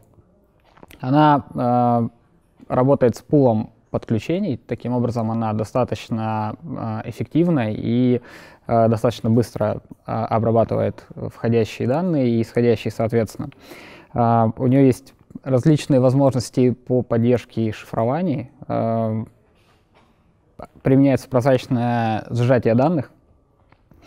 Также есть очень удобные инструменты по восстановлению после сбоев, такие как повторы запросов, а, обработки а, ошибок соединений. А, есть возможность настраивать различного рода тайм-ауты и так далее. Все это делается через удобный интерфейс. И еще один плюс — это возможность э, реализовать с помощью синхронного синхронного интерфейсов работы с этой библиотекой. Мы на примере посмотрим, собственно, синхронный вариант, а я покажу на слайдах. Как создать э, OHTTP клиент? Ну, создается он достаточно просто. У него есть конструктор без параметров, который создаст э, сконфигурированный клиент э, с параметрами по умолчанию. Э, если вам не нужны какие-то особенные настройки, то, в общем-то, все эти параметры в своих дефолтных значениях удовлетворят, наверное, ну, большинство средних требований для работы с э, какими-то веб-сервисами. А, если же вам нужна какая-то более гибкая и широкая конфигурация, то э, у этой библиотеки есть э, возможность использовать Builder. Это один из шаблонов проектирования, и он широко применяется, когда необходимо использовать какую-то, ну, конфигурировать большое число параметров у объектов, и э, чтобы не делать какие-то сеттеры и геттеры, под, под э, шаблон builder он как раз хорошо подходит э, в этих случаях. И вот в этой библиотеке также он применен. А, соответственно, есть конструктор. Builder — это внутренний класс класса OkHttpClient. Мы создаем объект builder 'а и далее через вызов instance методов этого класса, мы можем сконфигурировать соответствующие нужные параметры. В данном случае мы конфигурируем connection timeout, write и read timeout для нашего OKHTTP клиента. Да, сам этот клиент, он э, позволяет настраивать э, общий тайм-аут для подключения и раздельный тайм-аут на чтение и на запись данных. Вот это бывает довольно удобно. Мы в своих проектах, соответственно, используем разные значения. Более того, мы можем конфигурировать, конфигурить их для каждого запроса по отдельности. Э, зачастую э, это делать необходимо и делается это очень легко и просто. А, больше того, э, сам метод э, создания нового клиента, он легковесный и э, можно создавать новый э, клиент и конфигурировать его на каждый запрос, при этом не создавая самого инстанса э, HTTP клиента, то есть мы э, переиспользуем соответствующие пулы потоков. Э, единственное, что применяется новая конфигурация к ним. Вот это э, удобно. Э, когда у вас, соответственно, множество различных конфигураций для а, различных каких-то API, либо для каких-то специальных обращений к каким-то частям вашего API или вашего сервера. А, для того, чтобы выполнить э, запрос на сервер, есть специальный объект, специальный класс request. А, как ни странно, здесь тоже применяется builder, ввиду того, что а, request может иметь достаточно большое количество параметров и настроек, а, ну, в частности, нам необходимо почти в каждом реквесте указать какие-то HTTP заголовки и настроить какие-то параметры в заголовках. Нам необходимо указать URL, собственно, куда мы будем обращаться, чтобы получить наши данные. И указать метод. Это HTTP метод, который, собственно, будет выполнен в рамках этого запроса. В данном случае мы э, конфигурируем э, POST-запрос и в методе post указываем какое-то тело запроса, какие-то данные, которые мы отправим на сервер. Также э, здесь вот ниже пример, э, как можно настраивать заголовки для запроса. Это тоже делается через builder. Собственно, довольно удобно. Э, метод принимает, э, собственно, значение э, заголовок название типа и, собственно, значение этого типа заголовка, которые нам необходимы. Если сравнить это с э, URL connection, то там, собственно, более общий метод, который добавляет просто property к, к URL connection, и, в общем, не всегда понятно, что именно мы делаем, добавляя этот property. Здесь, в общем-то, все достаточно однозначно. А, ну и а, сам подход builder 'а, сам шаблон builder 'а, он характерен тем, что э, для того, чтобы сконфигурировать объект, нам необходимо вызвать метод build. И какой бы конфигурации мы не, э, и в какой последовательности мы не вызвали э, методы на builder 'е, метод build всегда возвращает нам валидный объект. И если э, соответствующим объектом, который конструируется с помощью builder 'а, подразум, ну, подразумеваются какие-то значения параметров, э, то метод build, соответственно, их выставляет там, в какие-то значения, которые определены по умолчанию. Вот, поэтому, если вы в своей разработке также будете применять подходы builder 'а, э, важно помнить, что э, вызов метода build, он всегда должен вернуть вам валидный сконфигурированный параметр, э, объект, даже если туда не было передано никаких параметров. А, после того, как мы выполнили запрос на сервер, а, мы, соответственно, ждем от него ответ. Ответ тоже представляется объектом а, объект от response. Он может быть вызван, вообще запрос может быть выполнен синхронно и асинхронно, и, соответственно, объект response может быть получен также различными способами. Синхронный вызов, он ну, достаточно очевиден, это обычный вызов метода. Мы вызываем на нашем HTTP-клиенте метод new call, передаем туда request, а, вызываем метод execute, и, собственно, в качестве возвращаемого значения мы получим наш объект response. Вот это довольно просто, но здесь надо помнить о том, что этот метод будет вызван в текущем потоке, то есть э, тот, кто вызывает этот метод, он, собственно, заблокируется и будет ждать ответа э, метода execute. И вызывать, использовать этот подход в UI-потоке, соответственно, э, неправильно.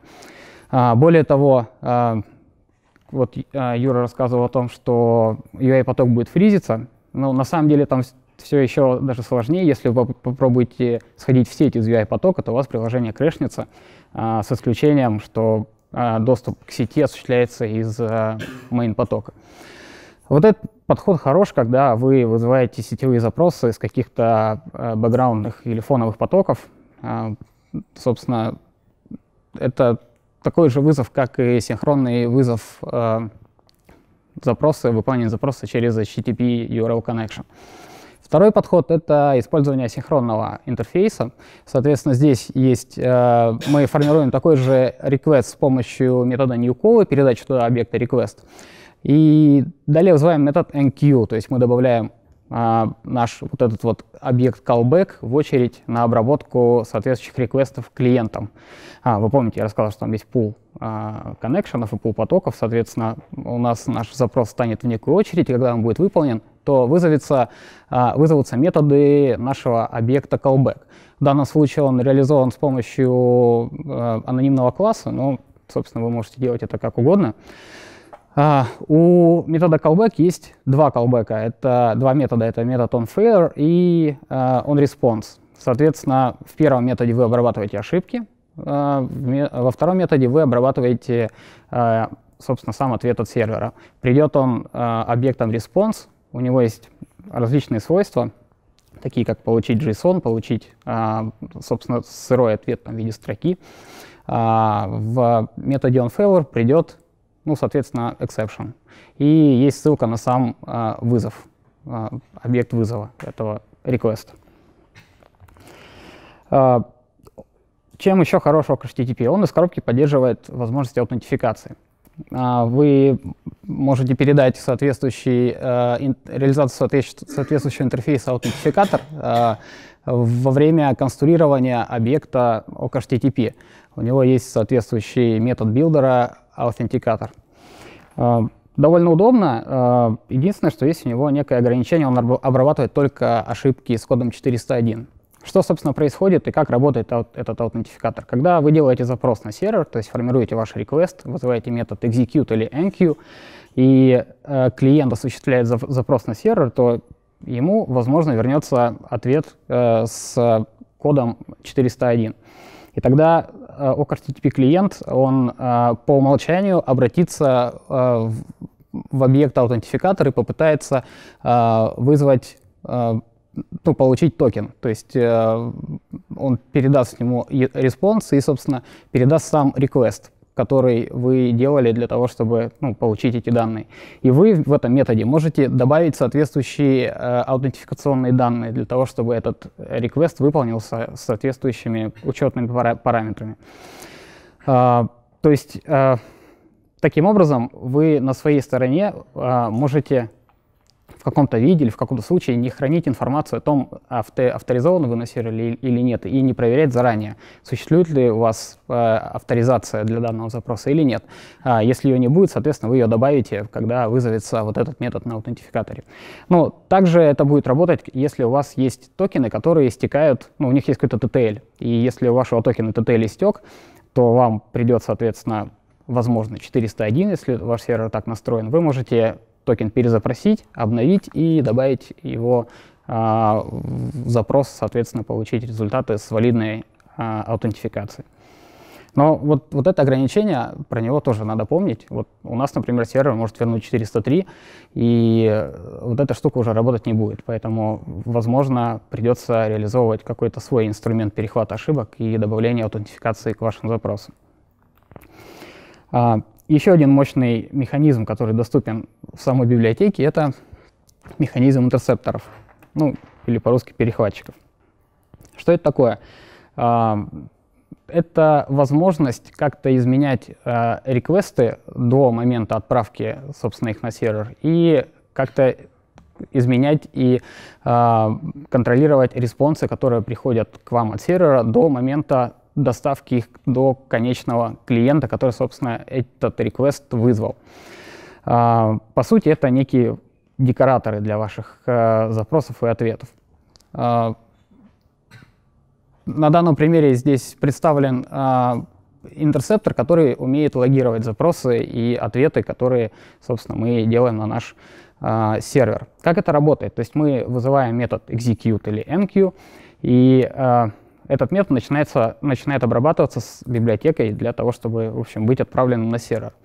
И первый раз этот interceptor вызовется до того, как он будет отправлен. Соответственно, мы можем изменить объект request, который придет нам в параметрах. Где-то он где-то он, в общем, там есть, вот chain, да.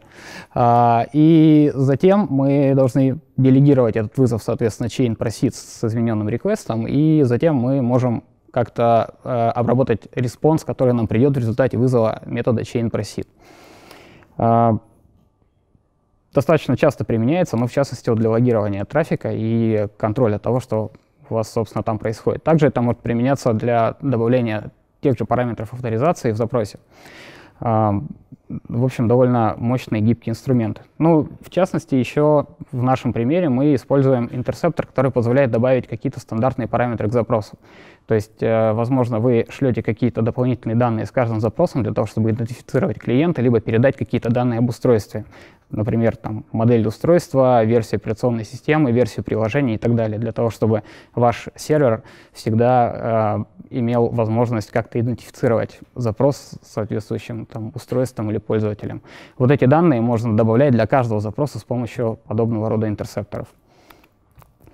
А, интерсепторов бывает несколько типов. Вот общий шаблон, а, он выглядит таким образом, что ну, условно у нас есть ядро нашей библиотеки и наши цепочки а, обработки реквестов и респонсов.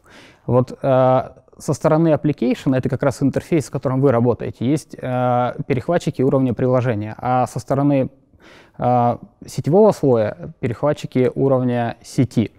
А, ну и здесь где-то сбоку еще кэш, ввиду того, что сама библиотека умеет кэшировать э, ответы. Э, вот, как это используется и как это работает. Э, применя... ну, вообще применяются они в разных, э, ну, в разные временные интервалы э, обработки реквестов и респонсов. Соответственно, интерсепторы уровня application — это перехватчики, которые вам необходимо э, вызвать в момент, собственно, пользовательского интента этого запроса. Они вызовутся один раз на текущую сессию реквеста-респонса.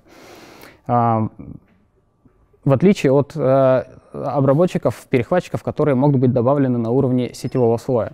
Если в вашем вот этом, в вашей сессии получ... отправки запроса и получения ответа есть какие-то редиректы, либо какие-то еще сетевые операции, то, соответственно, сетевой интерсептор применится каждому запросу, который выходит э, на уровень сети. В свою очередь, э, application интерсепторы применятся и к запросам, которые работают с кэшом, чего не будет для интерсепторов, которые, соответственно, работают непосредственно сетевым слоем. Э, ну, в общем, это основные различия, поэтому если вам необходимо как-то обрабатывать именно э, факт похода в сеть, и работать с данными, которые уже э, представлены в том виде, в котором они, собственно, отправятся на сервер, вам понадобится Network Interceptor. Если вы, вам необходимо работать с запросами именно в контексте приложения, то есть когда пользователь хочет или, или пользователь или ваше приложение хотят сделать какой-то вызов на ваш remote сервер, э, в отрыве от непосредственно сетевой реализации, то это вот интерсепторы уровня application. Э, то есть вот такие разные контексты, соответственно, разная применимость этих интерсепторов. Ну, добавлять их тоже довольно просто. У билдера есть метод addInterceptor. А, этот метод добавляет interceptor уровня application. И, соответственно, addNetworkInterceptor добавляет интерсептор уровня network. А, параметр, интерфейс, который принимают они в качестве аргумента, он, собственно, один и тот же. Поэтому одни и те же интерсепторы могут использоваться на разных уровнях, там, в разных конфигурациях клиента, если, конечно, вам это необходимо. Вот. А, собственно, вот эта библиотека, она сейчас используется по умолчанию в Android. То есть если мы посмотрим на реализацию того же uh, URL HTTP Connection сейчас, то под интерфейсом URL HTTP Connection вы, скорее всего, увидите как раз вот, вот такие вот uh, классы и вызовы методов uh, OCHTTP. Вот, но для того, чтобы сохранять какую-то обратную совместимость, э, существует реализация э, URL HTTP Connection, которая доступна вам из платформы, из коробки, и, собственно, вы можете использовать ее. Но знаете, что внизу работает все на основе вот этих вот инструментов. Удобнее, конечно, работать с ними напрямую, э, ввиду того, э, как удобно и просто их конфигурировать и настраивать. И вторая библиотека, которая также широко применима в современной Android-разработке, это библиотека Retrofit. Сейчас э, существует две версии, соответственно, Retrofit 2 — это э, ну, наиболее актуальная и популярная версия. Э, Retrofit, ну, это, по сути, тоже какой-то в каком-то виде HTTP-клиент. Э, что он делает? Он позволяет вам представить ваши э, API, HTTP API, в виде Java интерфейсов. А, и это круто. Э, это очень удобно, и это довольно сильно упрощает вообще работу с любым API. А, ну вот посмотрим на пример интерфейса. Допустим, мы работаем с уже упоминавшимся сегодня GitHub сервисом, и у него есть э, запрос, э, ну, есть URI, который нам отдает э, список репозиториев у пользователя.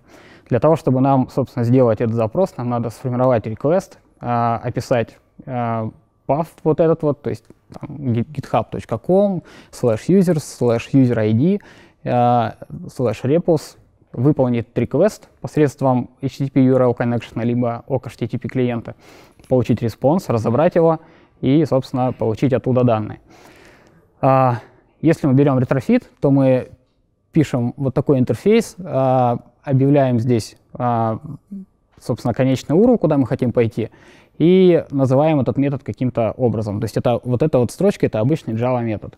А, и с помощью вызова вот этого метода мы сходим вот по этому URL, а, вот с, вот с этим параметром, и, собственно, получим список репозиториев, вот лист репос. А, а что самое классное, нам этот интерфейс реализовать самим не надо. Он будет сгенерирован, соответственно, самой библиотекой. То есть э, мы написали одну строчку кода, ну, на самом деле, три, но э, формально это одна строка, один Java вызов, который у себя под капотом, собственно, э, сам сгенерирует все походы на, на, сервер, установку всех параметров, которые нам нужны, э, разберет нам ответ и вернет его в виде поджа, либо какого-то другого объекта, ну, обычного Java, с которым вы сможете работать. Он использует, как видно, аннотации, это удобно, соответственно, а, писать много кода не нужно. А, и сам транспорт, сам инструмент, сам HTTP-клиент, который используется здесь, он тоже может быть сконфигурирован снаружи. То есть мы можем туда передать а, ок HTTP-клиент, который нам надо, и, собственно, конфигурировать его для каждого запроса. Можем использовать какой-нибудь другой HTTP-клиент. В общем, это все гибко настраивается с помощью тех же самых билдеров. Аннотаций есть пять типов. Это, соответственно, пять э, методов, которых, которые существуют в протоколе HTTP. Мы можем сделать методы get, post, put, delete, ну и head. Вы вообще знаете про метод head в HTTP?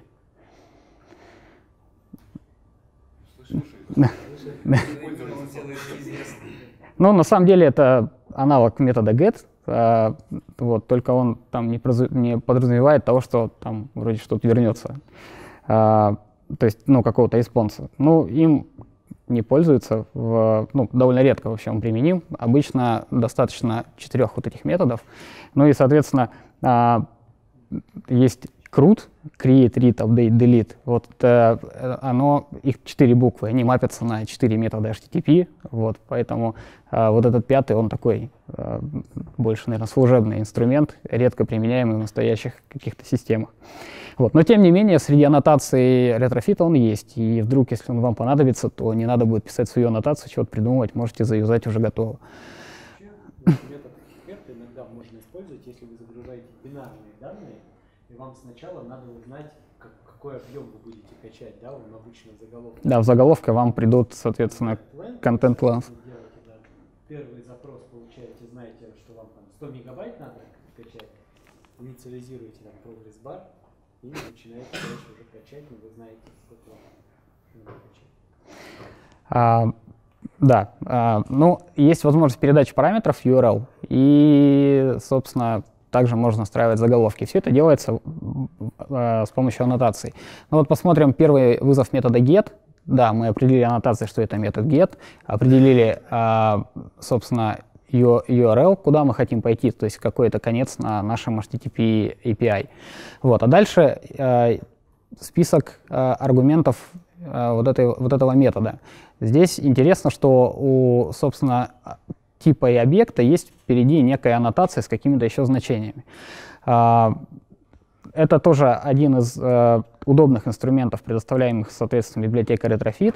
Вот э, мы определяем здесь э, некий path с параметром ID, и если мы посмотрим на, собственно, URL, то у нас специальном, используя специальный синтаксис в виде фигурных скобок, есть э, такой же идентификатор ID. Так вот, вот между ними, э, вот этим вот объектом и вот этим значением будет э, установлено, собственно, однозначное соответствие. Таким образом, вот этот вот э, идентификатор подставится э, вот в этот э, запрос. И э, то, что мы видели в строке браузера как group, там, набор, слэш набор цифр, слэш э, users, он, собственно, вот сформируется на основе параметра метода, который мы вызовем. И еще одна аннотация, аннотация query с, э, ну, под названием ну, со значением sort и некий, некая строка, это э, дополнительный параметр к нашему запросу. То есть у нас подставится ID э, в, собственно, сам URL, и параметром get запроса добавится значение это, этой строки. Очень удобно. И, собственно, из вашего клиентского кода вам нужно будет вызвать метод group передать там циферку и, собственно, метод сортировки и все чудесным образом сформируется, появится строка запроса, и все будет работать. А второй метод — это метод post. Здесь э, также определен э, URL, по которому надо сходить э, и выполнить этот пост-запрос.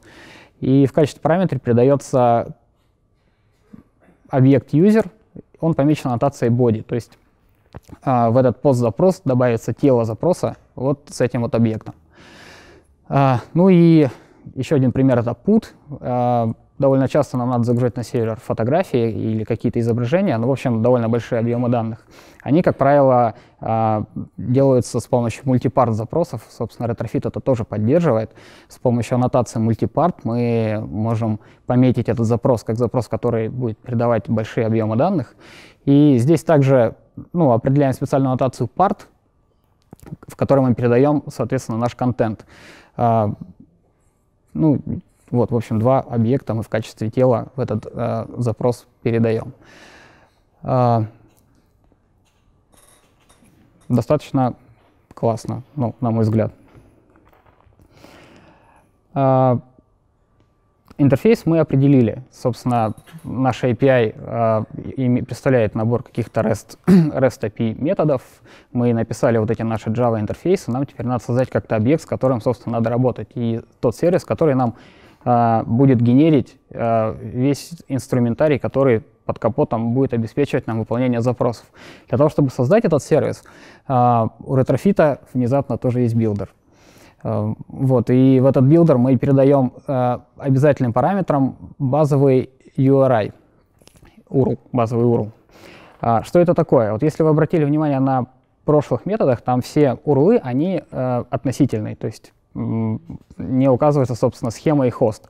Для того, чтобы библиотека Retrofit смогла сформировать полноценный запрос со схемой и с хостом, э, это необходимо сделать ну, передать эти значения, собственно, в билдере. И значение вот этого base URL добавится каждому запросу, который вызывается а, с помощью этого сервиса. А, еще что вы могли заметить, а, когда мы передавали body в пост-запрос, мы передали объект user и пометили его нотацией body.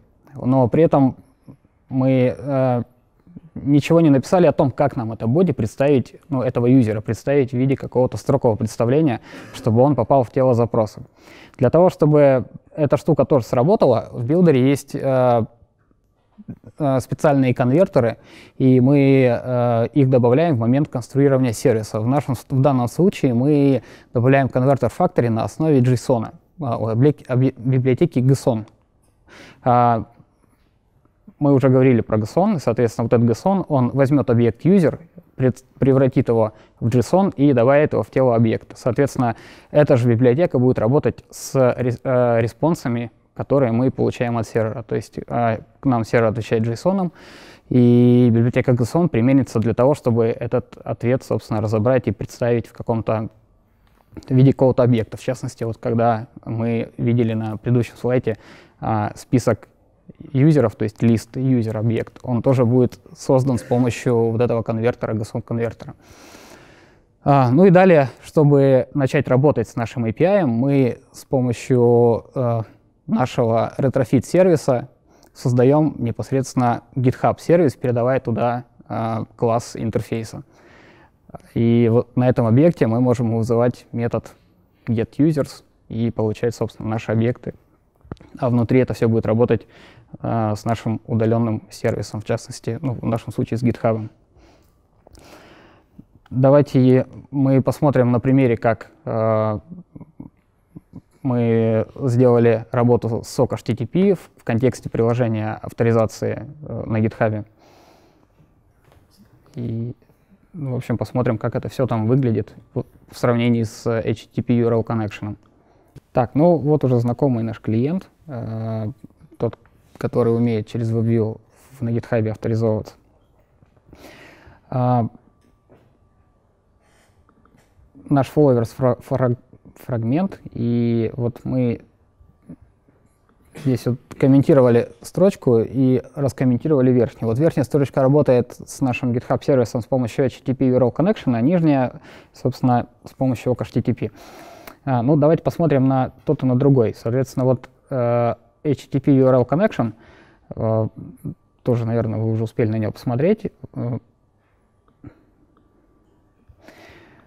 Мы создаем, открываем наш connection, все это под, под блоком try-catch, э, создаем URL, открываем connection, вызываем метод connect э, и получаем response-код оттуда. Если там он окей, то что-то делаем с нашим респонсом. Ну, все вроде понятно. А, теперь, как нам все это сделать с помощью OkHttp?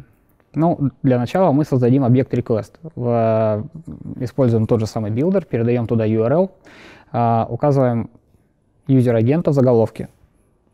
Не обязательно, но мы это сделаем. И забилдим наш request. А, далее мы воспользуемся синхронным интерфейсом э, HTTP клиента, сделаем new call с нашим реквестом, вызовем метод execute, получим объект response. У response есть э, метод is successful. Ну вот, например, в HTTP мы там какой-то статус OK придумали и проверяем с какими-то константами. Здесь у нас есть довольно удобный метод isSuccessful, который, собственно, нам из коробки вернет э, значение успешный response был ну, запрос был или неуспешный. И, собственно, нам не надо полагаться на какие-то константы. Соответственно, э, если э, запрос был успешный, мы делаем обработку наших данных. Объект response, он вот, содержит довольно много э, всяких полей и данных касательно нашего реквеста. А, в частности, вот есть э, объекты response body, есть э, протокол, есть код ответа, есть какие-то сообщения от сервера, которые нам были переданы. А, в общем, с ним а, у него есть довольно много полезной информации, которая, в общем, нам самой библиотекой уже разобрана, и мы можем ее использовать и обрабатывать в наших обработчиках ответов. С вызовом метода, вызовом способа запроса на сервер через HTTP URL connection нам придется работать с этими данными самим. То есть сначала разобрать э, сырой response и, собственно, из него вычленять все необходимые данные, которые нам нужны для того, чтобы вот их обработать.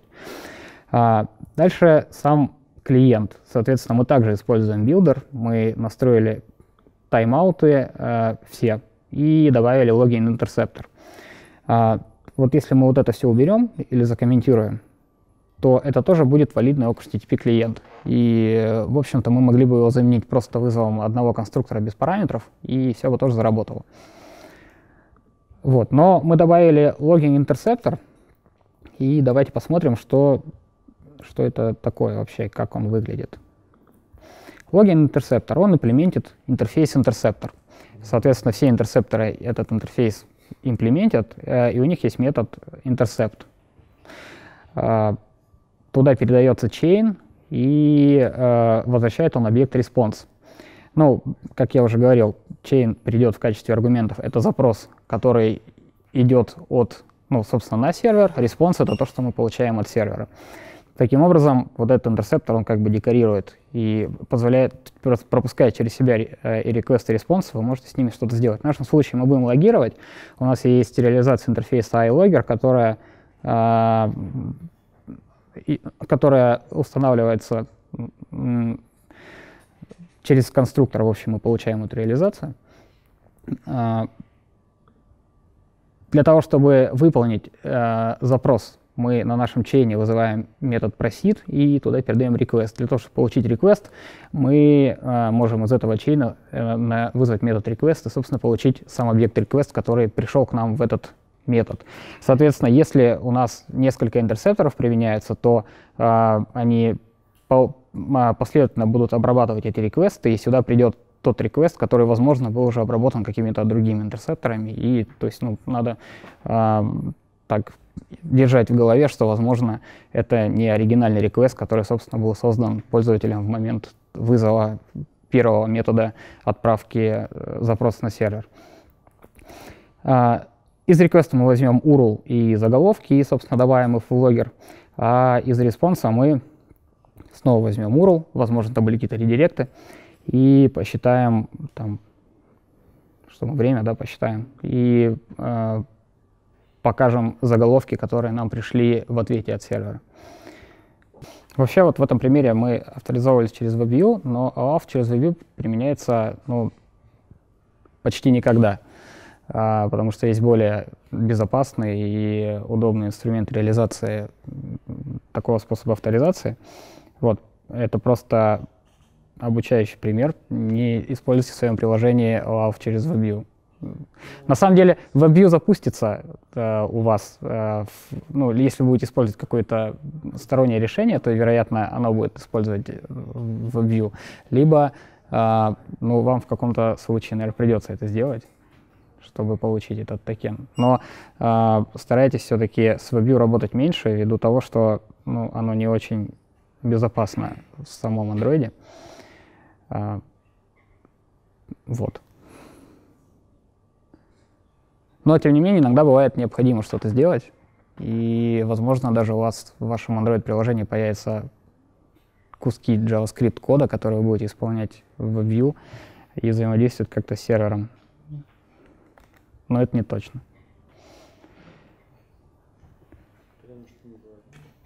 Да.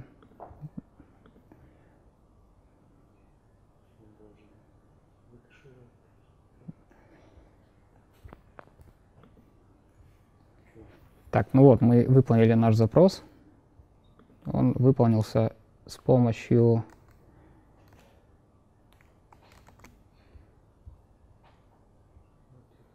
ок HTTP. И значит, мы должны увидеть э, в логах э, результат работы нашего логин интерсептора. Давайте проверим. Так, делать делок кат. Не, он прям в текст А, он же, да. А, ну вот. Собственно, что мы тут видим? У нас есть э, вот запись из логера sending request, где мы указали URL. Э, у нас есть заголовок user agent technotrack, который мы указали в качестве конфигурации нашего OKHTTP клиента. Вам видно чего-нибудь? Нет в этом тексте? Вот. Э, вот наш URL, э, вот наш user агент. Э, это обработчик на реквесте. Соответственно, обработчик на респонсе, когда мы уже выполнили запрос и получили объект response. А, вот receiving response наш URL а, и заголовки, которые нам отдал сервер, собственно, в response е. Как видно, их тут ну, гораздо больше. Вот это вот все, это а, заголовки в response е, которые сервер, собственно, нам подставил. Вот. Ну, это вы уже видели, это, собственно, JSON, э, представление данных, э, которые нам прислал в JSON. Ну, собственно, вот, вот про эти две библиотеки для того, чтобы ими э, пользоваться, этих данных вам вполне достаточно. Пользуйтесь ими, они классные.